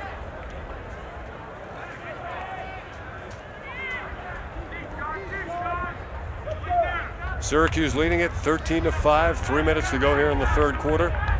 Again, Palumbo walks it up slowly. He'll be challenged briefly by John Heil. McNamara in the middle of Owens. Owens has McCabe open at midfield. They break the press, if you will. Brooke Chase has it. Owens comes onside as McCabe goes back. Now to Earl Hall against Leahy and Gleason. Brooke Chase giving it up to Owen. Zilberti is going to go behind the cage. Now Syracuse will take their time and run a nice half-field game, six on six. Hoteling, 13 on the move. Use the pick. Here he comes. Mark Hoteling. Right Nice into the save. midsection of Schimoler, who made the save. Bodies go down. Syracuse scoops it up. It's Hoteling. He lost it to McCormick, who kicks it ahead. And it's kept in bounds. McCormick losing it. McCabe took a shot on the head. McCabe racing it in. McCabe to Allen. Allen with Hoteling ahead. Tried to get it to Zulberti, who plays it on the bounce. Zulberti coming outside the box. Zulberti going inside the box. Minute 50 to go. Zulberti against Leahy. Zulberti looking for a midi to break, and he gets him. He gets it to Earl Hall. They'll make the move on Lizio. Hall with a left-handed shot. Syracuse retains possession. Talk about Syracuse domination in the third period. That's Syracuse's eighth shot. Cornell has gotten off one. So Syracuse really dominating and taking the offensive initiative away from Cornell in the third quarter. Cornell has not scored in this quarter.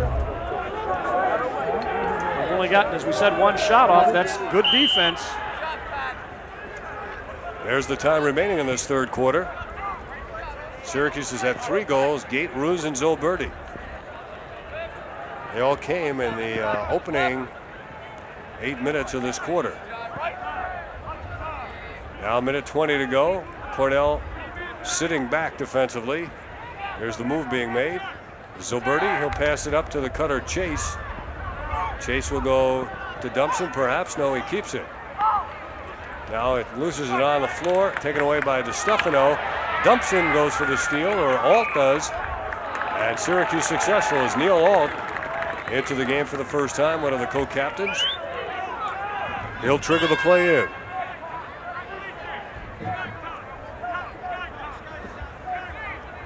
One on one left. Ball coming in from the upper right-hand corner. Neil Alt has it. You look at it from behind the Cornell cage. There's a stop and go by Ricky Kramer. He feeds over the head of the intended man Burns. And Schimoler sends a long outlet. It's intercepted by Stouffer, but he loses it. Goldstein tried to come up with it.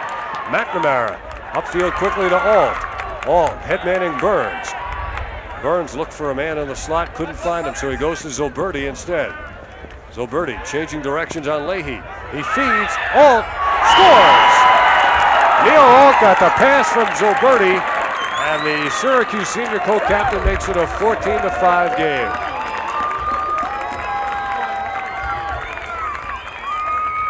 Neil Alt, one of the co-captains.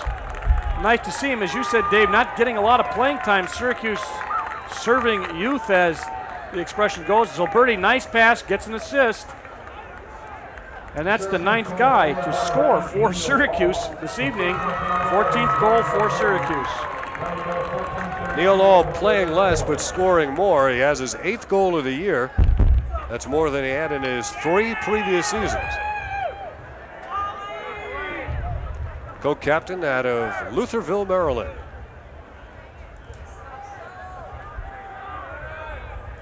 Attended Delaney High School. Off the faceoff, Lizio and Dirrigl. Dirrigl from a knee tried to clamp down at it. Gary Gait comes up with it. Gary Gait ahead to brother Paul. Down close they go. Burns knocked off the play by McCormick. Can they beat the clock? Cornell did at the end of the second quarter. There's Dirrigl. Dirrigl spinning for the left-handed shot, deflected, saved by Schimoler, and he guns it out of there. And the third quarter has come to an end with a score Syracuse 14 and Cornell 5.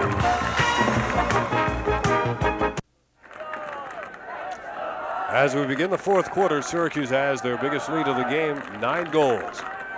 A year ago, Cornell defeated Syracuse 19 to 6 in the Carrier Dome and then 18 to 15 in the NCAA semifinal. Here's the season to date for Cornell.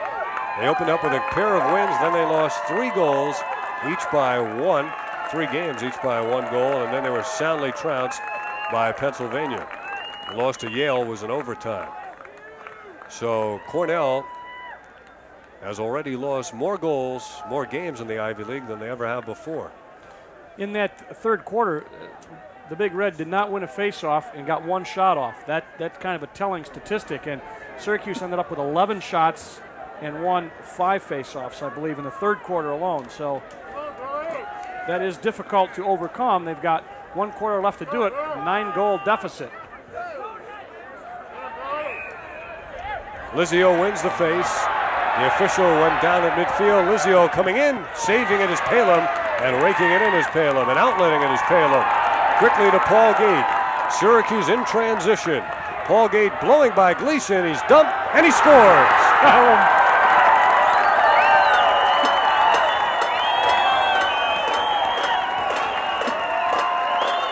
Give Matt Palumbo a lot of credit on that. He made the save, he raked it in, he outlet it to Gait, and Paul was not to be denied. 15 to 5. Palumbo and Stouffer talking it over. Certainly not commiseration there, is it? No, you know, there's one I tell them, they, they finally win a faceoff and they go down and get one shot off. Well, that's what a good goalie can do for you. Not only stop the shot, but start the transition game. And then Gait going frontwards at about 60 miles an hour managed to push it by Schimoler. And there is Paul on the far wing.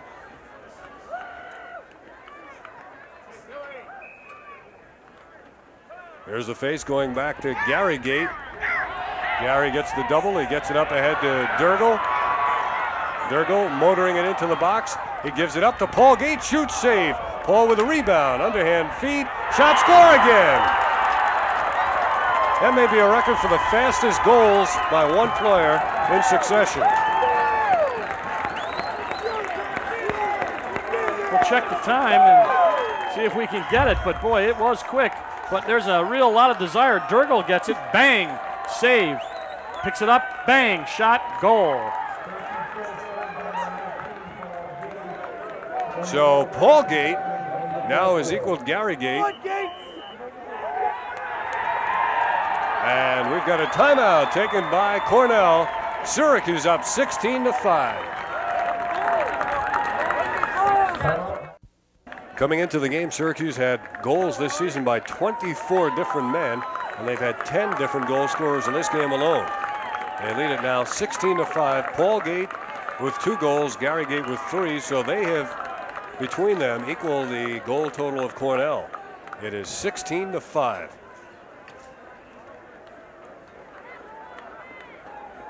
Gary Gait from the back. Get a good look at him. If you get a good look at him, you get a good look at Paul because they look exactly alike. Identical twins, although a little bit of a difference in weight. They Paul, the bigger of the two. Picked up speed from last year. It looks Bill Dirrigl this time wins the face from Lizio going forward. Syracuse scored two goals in 16 seconds. Zulberti. It's going to be a delayed call against Cornell using the pick by Hotailing. Out to Gary Gait. They swing it to Brooke Chase. Chase losing the ball now will get the extra man opportunity. At Rossetti uh, slash City there.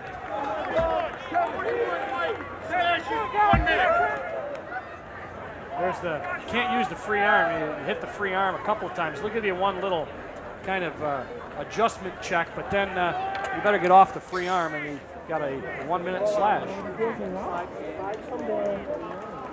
One minute.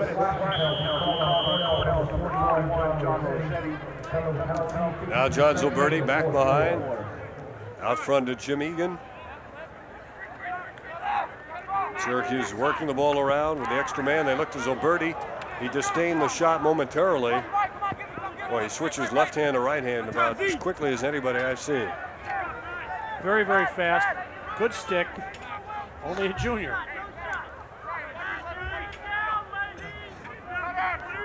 It's going to Zulberti's way again, behind the cage, up top. Burns, back to Zulberti, coming in! Sneaking in the back door was John Zulberti. That was a thing of beauty. They lost track of Zulberti, and he got the return feed, and the Z gets his third goal of the game. Yeah, you, you got to see this in the replay because it's hard to see it uh, regularly. He comes by and he gets the nice feed from Gait. Look at that, three moves and he puts it by. Schimoler, uh, DeStefano tried to get in there, but that's just a one-on-one. What a game he is having, John Zulberti. Three goals, four assists.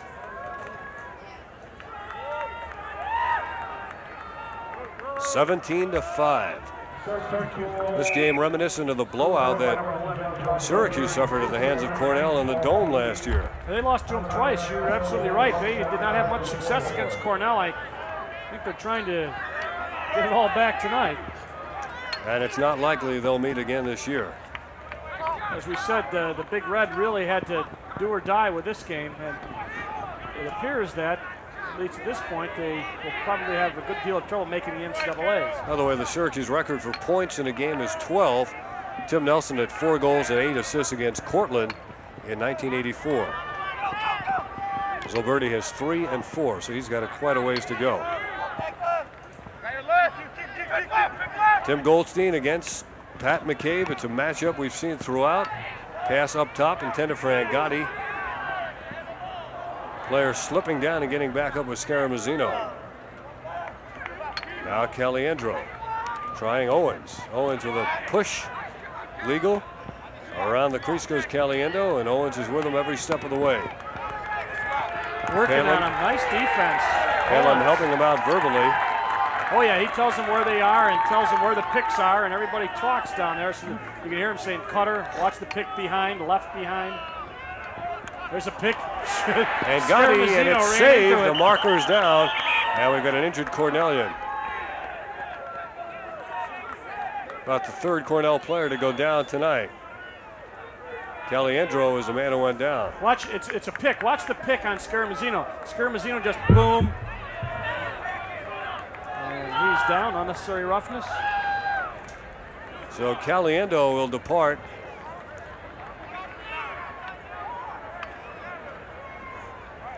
He'll take a little rest as Scaramuzzino right into him on the pick.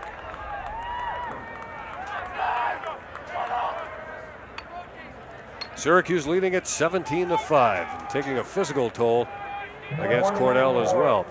After the Hobart game, Dave Urick, the coach of Hobart, thought that Syracuse physically was quite strong as a result of uh, weightlifting, and it really showed in loose ball, ground ball situations.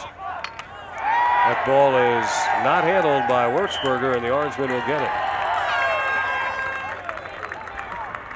Syracuse still down. In the penalty box. So they'll undoubtedly be doubled on the ball.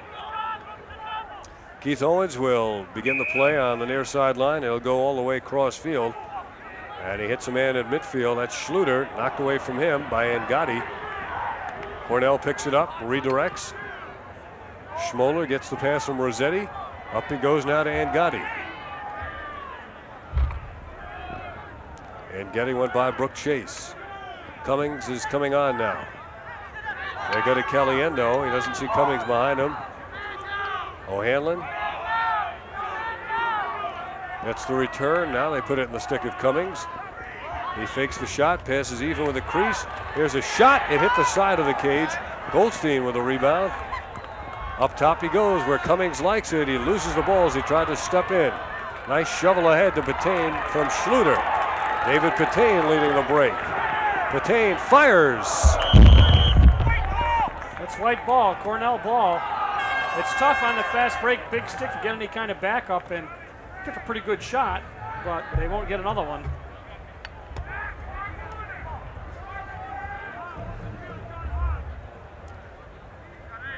So John Schimoler from behind.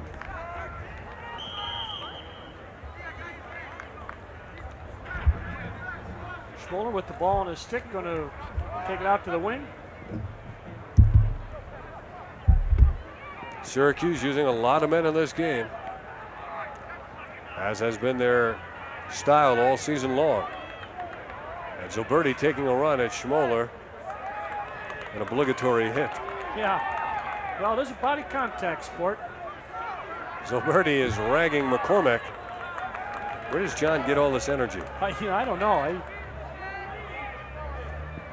Schimoler's out of the cage, almost to midfield before he dumps it off.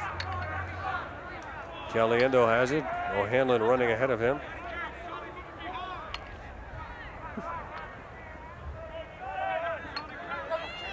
settled it right down now. Really difficult to score in bunches. Goldstein motoring, motoring by McCabe, shooting, and it's Palumbo for the save.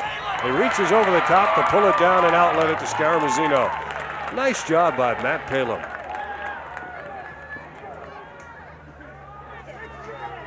Now Rob Persing gets it as Scaramuzzino heads off. Ricky Kramer's coming on. Cornell has not scored a goal since the last second of the first half. They've gone about 22 minutes now without a score. Brooke Chase on the move against McCormick. Chase carrying it behind, and a whistle stops play. A violation against Syracuse. So he was holding the ball. I didn't catch exactly what it was, although it will cost Syracuse possession. Well, you look at uh, Palumbo's numbers, by the way, and that great save he made. That's his 14th. He's looked very good, and more importantly, not more importantly, I should say, but just as importantly, he has started the transition game and has played very, very well and found his men. And he's really seasoning this year and getting uh, getting the experience that they knew that uh, he needed and has responded very well. Palumbo was the guy who was victimized last year by Goldstein on those nine assists, at least most of them. Now Cornell down by 12 goals with nine minutes to go, they turn it over again. McNamara coming out of his own end. Schluter having trouble playing it. Goldstein's there to bother him. Cornell's ball. Off of Schluter's stick.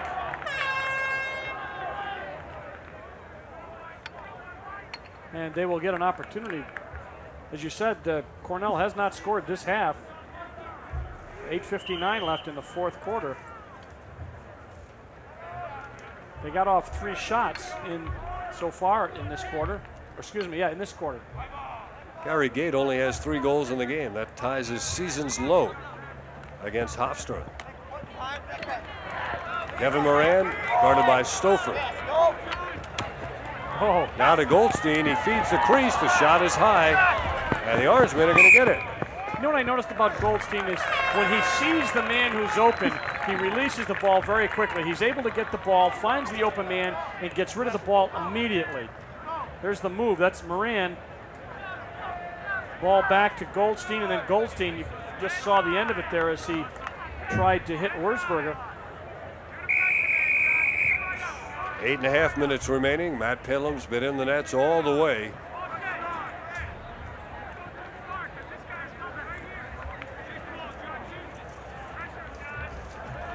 Matt sends McCabe across. And they get it into the box now. In the stick of McCabe, he wants to shoot low. McCabe doesn't shoot very often, but he tried it that time. Got a nice shot off, a little sidearm low shot with that big 72 inch. It's only his second shot of the year.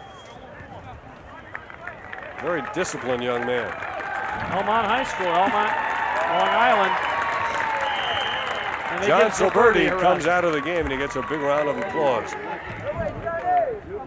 The Z-Man departs with three goals, four assists. Rodney Dumpson of the stop and go there.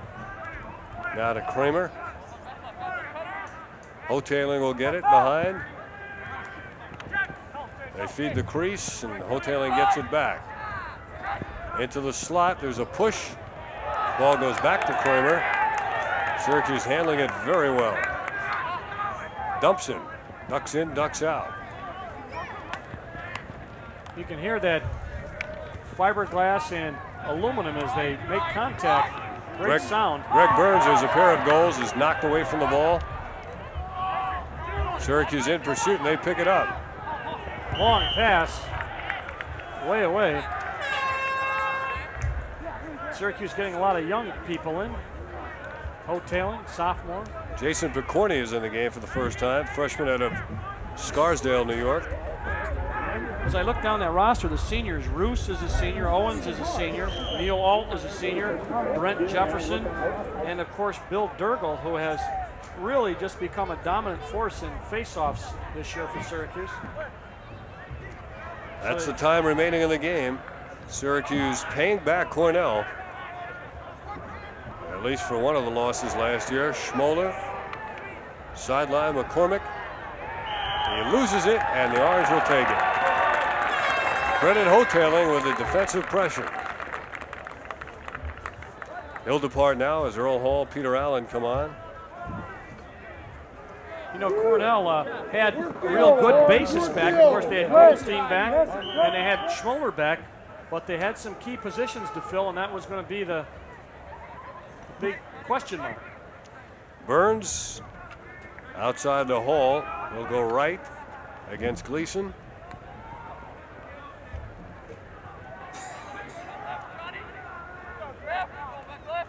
Back behind the cage is Syracuse. There's a move by Picorni, six foot two inch freshman. Now a good move around the crease and a gorgeous goal. Syracuse's 18th of the game. And it's Greg Burns who comes up with number three for him. Greg Burns going to get the pass from Pagorni, and he just moves there on Schimoler, and he actually took number 33 McCormick with him. Greg Burns now has himself a new career high with three goals in this game. 18 to 5. Sophomore out of Jamesville DeWitt, Greg Burns. Excellent player, getting again that experience. We said Syracuse plays good number of players. Of course, Burns has played regularly. Dale, I don't believe we've seen Jeff Hall in the game. No, eh, out of Fayetteville Manlius High School, son of Coach Tom Hall of Fayetteville Manlius. He's a sophomore, lettered a year ago, but we have not seen him play in this game. He is dressed, he is on the sideline. We've got 6.15 to go. Syracuse out to a commanding 18 to 5 lead. You know, coming into the season, uh, the defense was a, a, question mark. They felt they had a good attack, and they lost some good midfielders, which really is a glue for a good lacrosse team. And I think it hurt them a little bit more than perhaps they thought. Orange back on the attack again off the stick of Dumpson. Syracuse just winning all the foot races to the loose balls right now.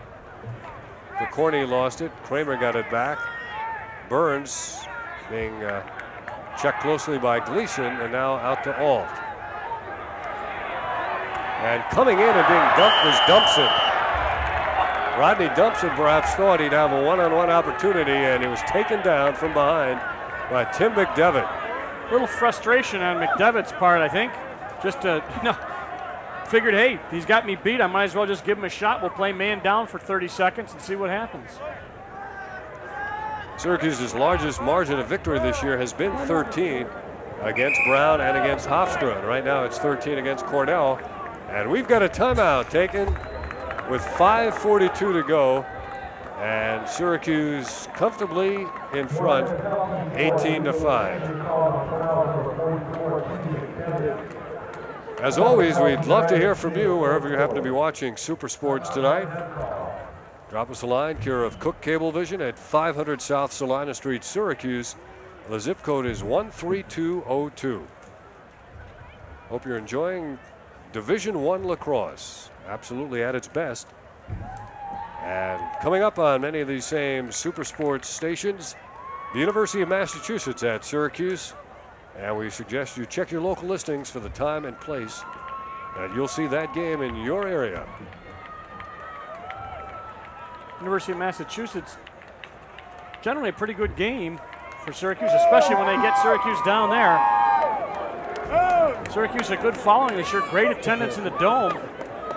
And they got some people made the trip down Route 81 to see Coach Simmons and his lacrosse team take on Richie Moran and the Big Red of Cornell. After this game, Syracuse goes on the road to Rutgers and then to the University of Pennsylvania, where Penn has another former Syracuse player, Brad Kotz, as an assistant coach.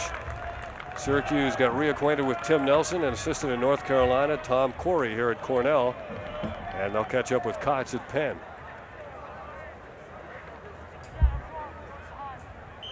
So we've got 5.42 remaining. The Orangemen with the ball, moving in close for an attempt. Schimoler with a save. The ball ricochets out to Burns. Burns picks it up. Burns has it. He goes into the slot for the shot, saved by Schimoler against Allen. And Paul Schimoler quickly outlets it to DeStefano. Egan gets back on defense. Looping pass for Caliendo. Syracuse is going to swarm after him. Paul Gait tries to knock it away. He does, but we get a whistle.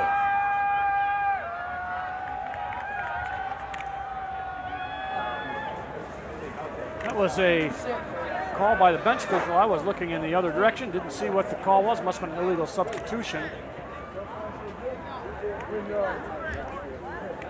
On the Syracuse sideline, backup goalie Lee Hyde warming up. Lee's a freshman from Relay, Maryland. St. Paul's High School. Relay, Maryland. Wonder where that is. You know a little bit about Maryland. It's got me stumped. John Heil feeding inside. Quick stick, and there's the goal by Wurzburger. The first Cornell goal of the second half. Another assist by Goldstein. 25 minutes of the second half. without a goal, and now Lee Hine will replace Matt Palumbo in the Syracuse Nets. There's a look at Tom Corey, who set the Syracuse record with 56 goals in one season a couple of years ago. Now an assistant coach here at Cornell under Richie Moran. Lee Hine is in the nets.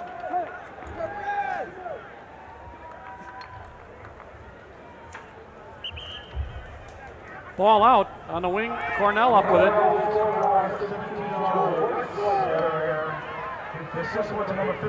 Tim Goldstein got the assist, his fourth of the game. Now we've got four minutes and 40 seconds remaining. Now we'll see if Lee Hine is to be tested in the nets. Wurzburger. Wurzburger working one on one. Wurzburger gives it up. You hear Lee Hine yelling right behind. Goldstein against McCabe. Goldstein coming way out, looking for the angle for his shot. Weak shot, deflected. Cornell keeps. Good backup by Kevin Moran.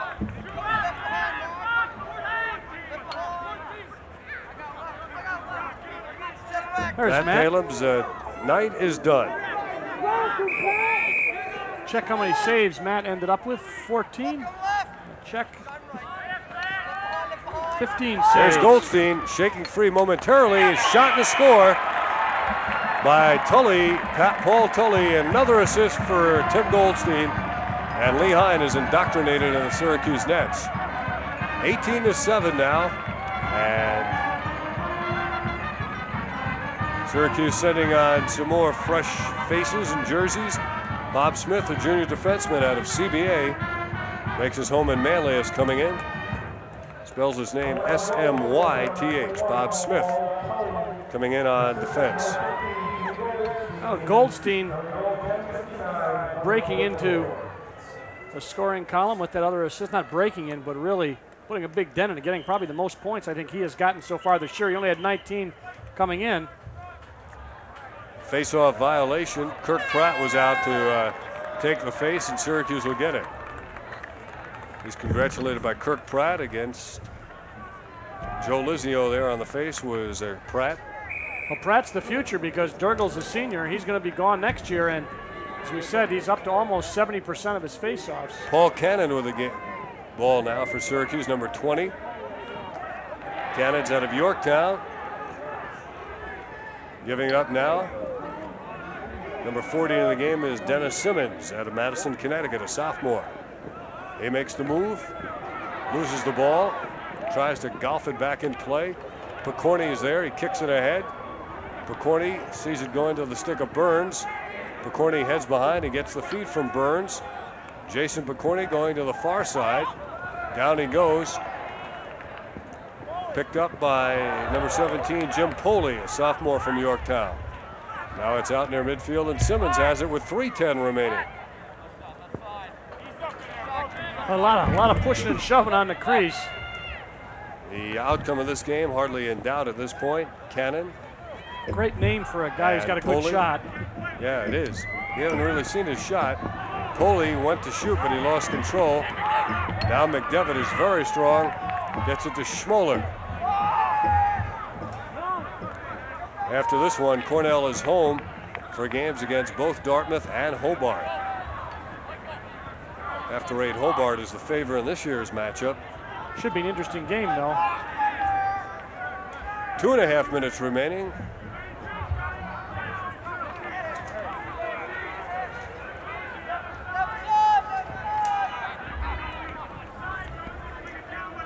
Schimoler, who has gone the whole way, gets the ball out, gets a break to McDevitt. Cornell has been uh, pretty much a defensive team, but they did surrender 19 goals against Pennsylvania. Loose play now at midfield, and it rolls out of bounds with two minutes and two seconds to go. That was Rossetti that had that ball before for Cornell. Out of bounds at any rate, Syracuse will take over.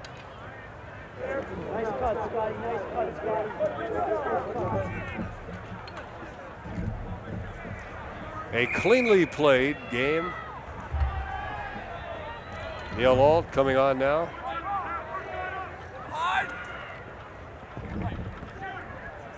Off the stick uh, Dumpson and rolling back toward midfield. Dale, if you had to pick and most valuable or outstanding player for Syracuse in this game, who would it be? Kramer scores. Ricky Kramer becomes the 11th different man to score in this game. Well, you know, the, the defense played, it was really a team effort. It's hard to pick it out. The defense played exceptionally well. Dirrigl did a great job getting faceoffs, and you saw a lot of the net moving just like that from Kramer because we had, what, 11 different guys now score for Syracuse. And that's, uh, that's impressive. 19 to 7 is the score. I guess I'd have to think of Zulberti. Now, there's, there's you can make a case for Zulberti. Certainly, he played excellent. He always does. Plays defense. Face-off stat right there. It really is an important stat in the how the game goes. Cornell had a new face-off man in the game that time. Into the final minute, 25 seconds.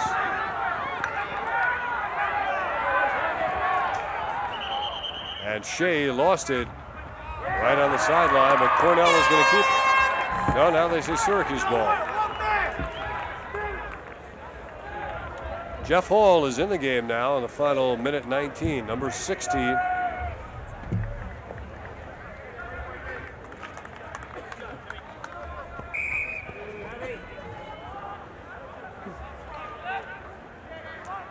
Cornell is about to lose for the fifth time this year. They've only suffered five losses once and six losses once in Richie Moran's years at Cornell. He's been here since 1969. A couple of national championships.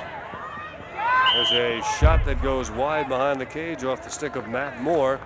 Under a minute to go now. Moore is excellent size at 6'2", 200 pounds. He's a freshman out of Fayetteville Manlius.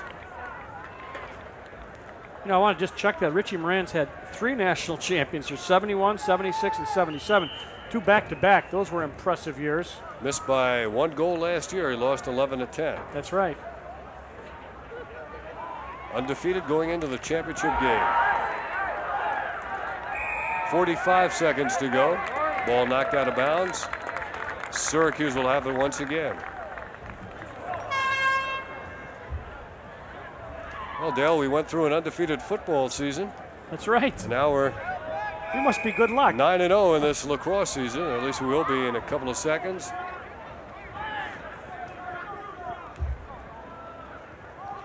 These guys have a great attitude. You know, when you talk to them off the field, they just really believe that they what they've got to do, and they go ahead and do it to win the NCAA's. They feel they can.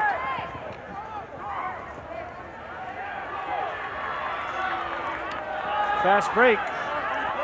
Carrying it into the box with 20 seconds to go is McDevitt. And Lehine plays the bouncing shot at eye level.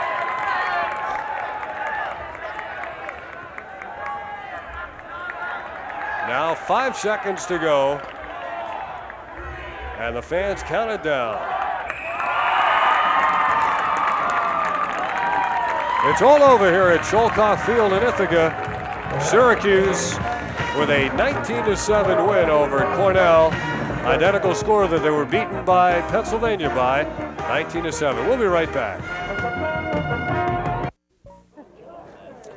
Syracuse has defeated Cornell 19 to 7 to run their record to 9 0 on the year. They'll go on the road now for games at Rutgers and Penn before returning to the Carrier Dome against the University of Massachusetts. And that will be our next televised game on many of these super sports stations. Matt Palin had a fine game of the Nets for Syracuse as the Orangemen uh, blanked Cornell during the entire third quarter. And for most of the fourth quarter, Cornell getting two goals in the final uh, five minutes of the game. But really, the defense was the story for Syracuse in the second half. Played exceptionally well, uh, played well all over, but as you said, it would be very difficult to pick a most valuable player. But John Zulberti, the man we're looking at right there, excellent game. And uh, he's assisting and scoring, and uh, the whole team looks very, very good. So, John Zulberti with three goals and four assists as Syracuse wins it 19 to 7. Tonight's game has been brought to you by Super Sports and Cooke Cablevision of Syracuse and by the Sheraton University Inn and Conference Center, Syracuse's only AAA rated four diamond hotel. by Onondaga Sports Medicine and Rehabilitation Center, 4994 West Seneca Turnpike, by Brazil Chevytown and Truck City, Old Liverpool Road, Liverpool, and by Drumlins Travel. They took thousands to the Sugar Bowl. Shouldn't they be taking you on your next business or pleasure trip? Now, speaking for our statisticians, Jack Ewert and Chevrolet Nissen, this is Dave Cohen along with Dale Drypulcher saying so long from Schoellkopf Field, where once again Syracuse defeated Cornell 19 to 7. This has been a presentation of Super Sports and Cooke Cable Vision of Syracuse.